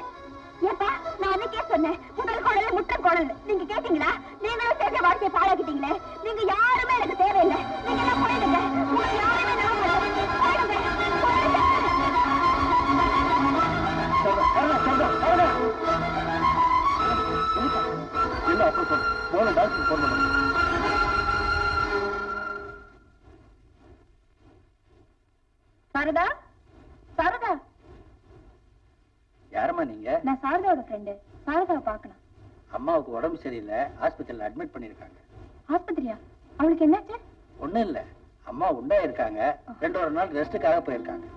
எந்த ஆஸ்பத்திரி? தேவகி ஹாஸ்பிட்டல் வரேன். சாரதா ஆனந்த் ரொம்ப நல்லவம்மா. நான் சொல்றதை நம்புமா முதல்ல அவர் வெளியில போக சொல்லுங்க. நம்பி கழுத்தடிட்டவளுக்கு நைவேத்தியம் பண்ணிட்டாரு. இந்த மனுஷன் என் கண் முன்னால நிக்க கூடாது சாரதா. கூப்பிடாதீங்க. அந்த பேசனுக்கு கூட உங்களுக்கு உரிமை இல்ல. ஆண்ட ஒரு தடவை என் வாழ்க்கையில விளையாடிட்டான் நீங்க ரெண்டாவது அடைய விளையாடிட்டீங்க நீங்க நல்ல ஏமாத்திட்டீங்க. நீங்க ரெட்டாயிரம் பட்ட பச்சாந்தி. சாரதா நான் வந்து என்கிட்ட வராதீங்க. என்கிட்ட வந்தீங்க நான் என்ன செய்வேன் எனக்கு தெரியாது. உனக்கே தெரியாத அளவுக்கு ஒரு தண்டனை கொடுக்க போறியா? அந்த அளவுக்கு ஆனந்த என்னமா தப்பு பண்ணா? உங்களுக்கு தெரியாதா? இன்னும் தெரியாதவன் நடிக்கிறீங்களா? நீங்க தான் அவ காதலுக்கு ஆதரவு அள்ளி வழங்கிருக்கீங்க சாரதா. நீங்க சும்மா இருங்கப்பா. உங்களுக்கு ஒண்ணும் தெரியாது. எதிரிகளை மன்னிக்கலாம். ஆனா நம்பிக்கையாளர்களை மன்னிக்கவே கூடாது. Yes you very correct Sharada. துரோகிகளை மன்னிக்க கூடாதுதான். ஆனந்த் என்ன துரோகம் பண்ணான்னு எனக்கு தெரியும். வாழ்க்கையோட கடைசி நாட்களை எண்ணிட்டு இருந்த தன் காதலியை காப்பாத்தணுங்கிற ஒரே காரணத்துக்காக தன் காதலியை தியாகம் பண்ணான். அதுதான் அவன் செஞ்ச முதல் துரோகம். விதவையான உனக்கு மறுவாழ்வு கொடுத்தான். அது ரெண்டாவது துரோகம். கழுத்தை நீட்டினவளுக்கு துரோகம் பண்ணக்கூடாதுன்னு எல்லா உண்மைகளையும் சாந்தி கிட்ட சொல்லி துடிச்சான். அது மூணாவது துரோகம். உங்க அப்பா கிட்ட முப்பதாயிரத்தை வாங்கி என்கிட்ட கொடுத்துட்டு உயிருக்கு உயிரா காதலிச்சவளை ஆபரேஷன் டேபிள்ல போட்டுட்டு அங்கேயே தன் காதலை கை கழுவிட்டு உன் கையை பிடிச்சானே? அதுதாம்மா அவன் கடைசியா செஞ்ச பெரிய துரோகம். இந்த உண்மையெல்லாம் இப்ப சாந்தி கிட்ட சொன்னா அவன் உயிருக்கு ஆபத்து ஏற்படுமே நான் தான் சொல்ல வேண்டாம்னு சொன்னேன். உன் அகராதிப்படி இதெல்லாம் துரோகம் தான் மனிதாபிமானப்படி இதுக்கு பேரு தியாகம். அவனையா சந்தேகப்படுறேன்? வக்கீல வர வேண்டிய நீங்க? டாக்டரா இருக்கீங்க. நல்லாவே வாதம் பண்றீங்க. நீதான் பிடிவாதம் பண்ற. ஒரு மனைவிக்கு கணவன் செய்ய வேண்டிய கடமையில இருந்து என்னைக்காவது எந்த விதத்திலாவது நான் தவறி இருக்கேனா இருக்கீங்க. எனக்கு தாலி கட்டதுக்கு அப்புறம் கூட நீங்க சாமியை சந்திச்சிருக்கீங்க. அவ கூட பழகி இருக்கீங்க அவ மனசுல கல்யாண ஆசையை தூண்டி விட்டுருக்கீங்க. அவ அவ என்கிட்டயே உங்களை பத்தி புகழ்றா. என்ன வாழ வைக்க வேண்டிய தெய்வம்னு சொல்றா. உன் அழகா இருக்கான்னு வெறும் வார்த்தையில ஒருத்தி சொன்னா கூட எந்த மனைவியாலும் தாய்க்க முடியாதுங்க. இதோ பரம சாரதா. கண்ணனை மீரா காதலிச்சா. அது தப்புன்னு பாமா ருக்மணி கண்ணனை கண்டிச்சதா கதையில கூட இல்லம்மா. ஆனா கண்ணன் மீனாவோட வாழ்ந்தானாங்கிறது தான் கேள்வி. இல்லையே என் புருஷன் கண்டவ பின்னாடி திரியிற கண்ணனா இருக்க நான் விரும்பல. என்னைக்கும் சீதைக்கு மட்டும் சொந்தமா இருக்கிற ஸ்ரீராமனா தான் இருக்கணும்னு நான் விரும்புறேன். கல்யாணத்துக்கு முன்னாடி ஒரு ஆண் ஒருத்திக்கு காதலனா இருக்கலாம். தப்பு இல்லை. ஆனா ஒருத்திக்கு கணவனானதுக்கு பிறகு இன்னொருத்திக்கு காதலனா இருக்கக்கூடாது. ஆனந்த் சாந்தி கிட்ட வச்சிருந்த காதல் முடிஞ்ச கதை. பொண்ணோட வாழறதுதான் தொடர்கதை எனக்கு வேண்டியவங்க நீங்க. எல்லாம் உங்களுக்கு தெரிஞ்சிருதும் ஏன் என்கிட்ட மறைச்சீங்க? அதுக்கு காரணம் இருக்கு. ஒரு ரிசப்ஷன் அன்னைக்கு ஆனந்த மாப்பிள்ள கோலத்துல பார்த்த அதிர்ச்சி அடைஞ்சேன் இப்ப நீ குற்றம் சாட்டினியே துரோகின்னு. அதையத்தாமா நானும் அப்ப சொன்னேன். துரோகி நீ எல்லாம் ஒரு மனுஷனா. சாந்தியை தான் உயிருக்கு உயிரா காதலிக்கிற. அவளை தான் கல்யாணம் பண்ணிக்க போறேன்னு சொல்லிட்டு இங்க வேற ஒருத்திக்கு தாலியை கட்டிட்டு கல்யாண கோலத்துல நிக்கிறியே.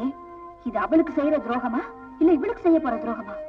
நோ டாக்டர் நான் காதலிச்ச பெண்ணோட உயிரின் விலை முப்பதாயிரம்னு நீங்க தான் முடிவு பண்ணீங்க. நான் ஏழை. அவ்வளவு பணத்தை என்னால புரட்ட முடியல. எல்லா முயற்சியும் பண்ணி தோத்து போய் நின்ன எனக்கு சாரதாவோட அப்பா பேப்பர்ல கொடுத்த விளம்பரம் கண்ணில் பட்டுது.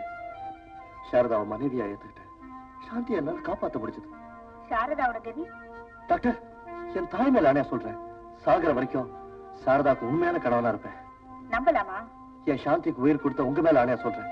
என்ன நம்புங்க. ப்ளீஸ் சாரதாவுக்கு உண்மையான புருஷனா இருப்பேன்னு அன்னைக்கு என்கிட்ட சத்தியம் பண்ணி கொடுத்தான் அந்த சத்தியத்தை இன்னை வரைக்கும் காப்பாத்திட்டு வரான். சாரதா நான் சொல்றத நம்புமா? என்ன நம்பு சாரதா. என் டாக்டர் தொழில் மேல ஆணையா சொல்றேன். ஆனந்த் உனக்கு துரோகம் பண்ணல. சூழ்நிலையால பாதிக்கப்பட்ட ஒரு அப்பாவி மாவன்.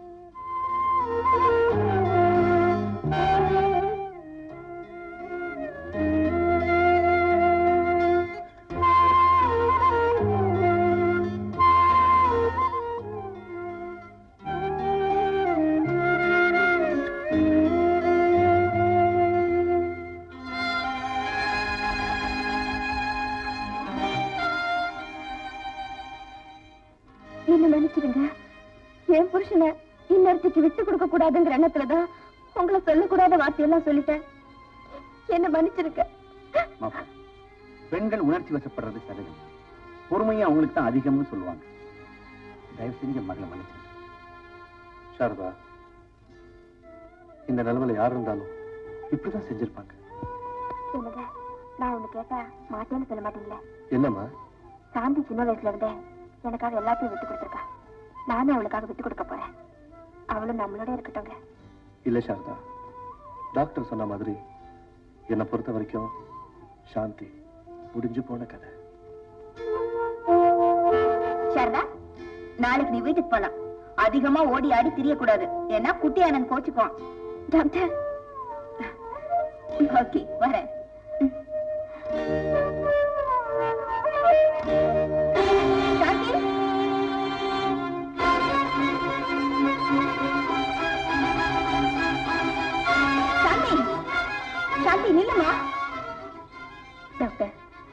பூர்ண குணமாயிட்டேன்.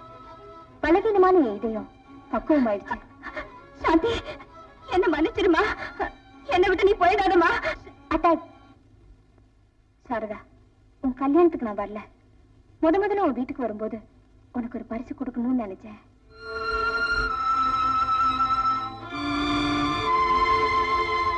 ஸ்ரீராமனை உன் கல்யாண பரிசா உன்கிட்ட கொடுக்குறேன்.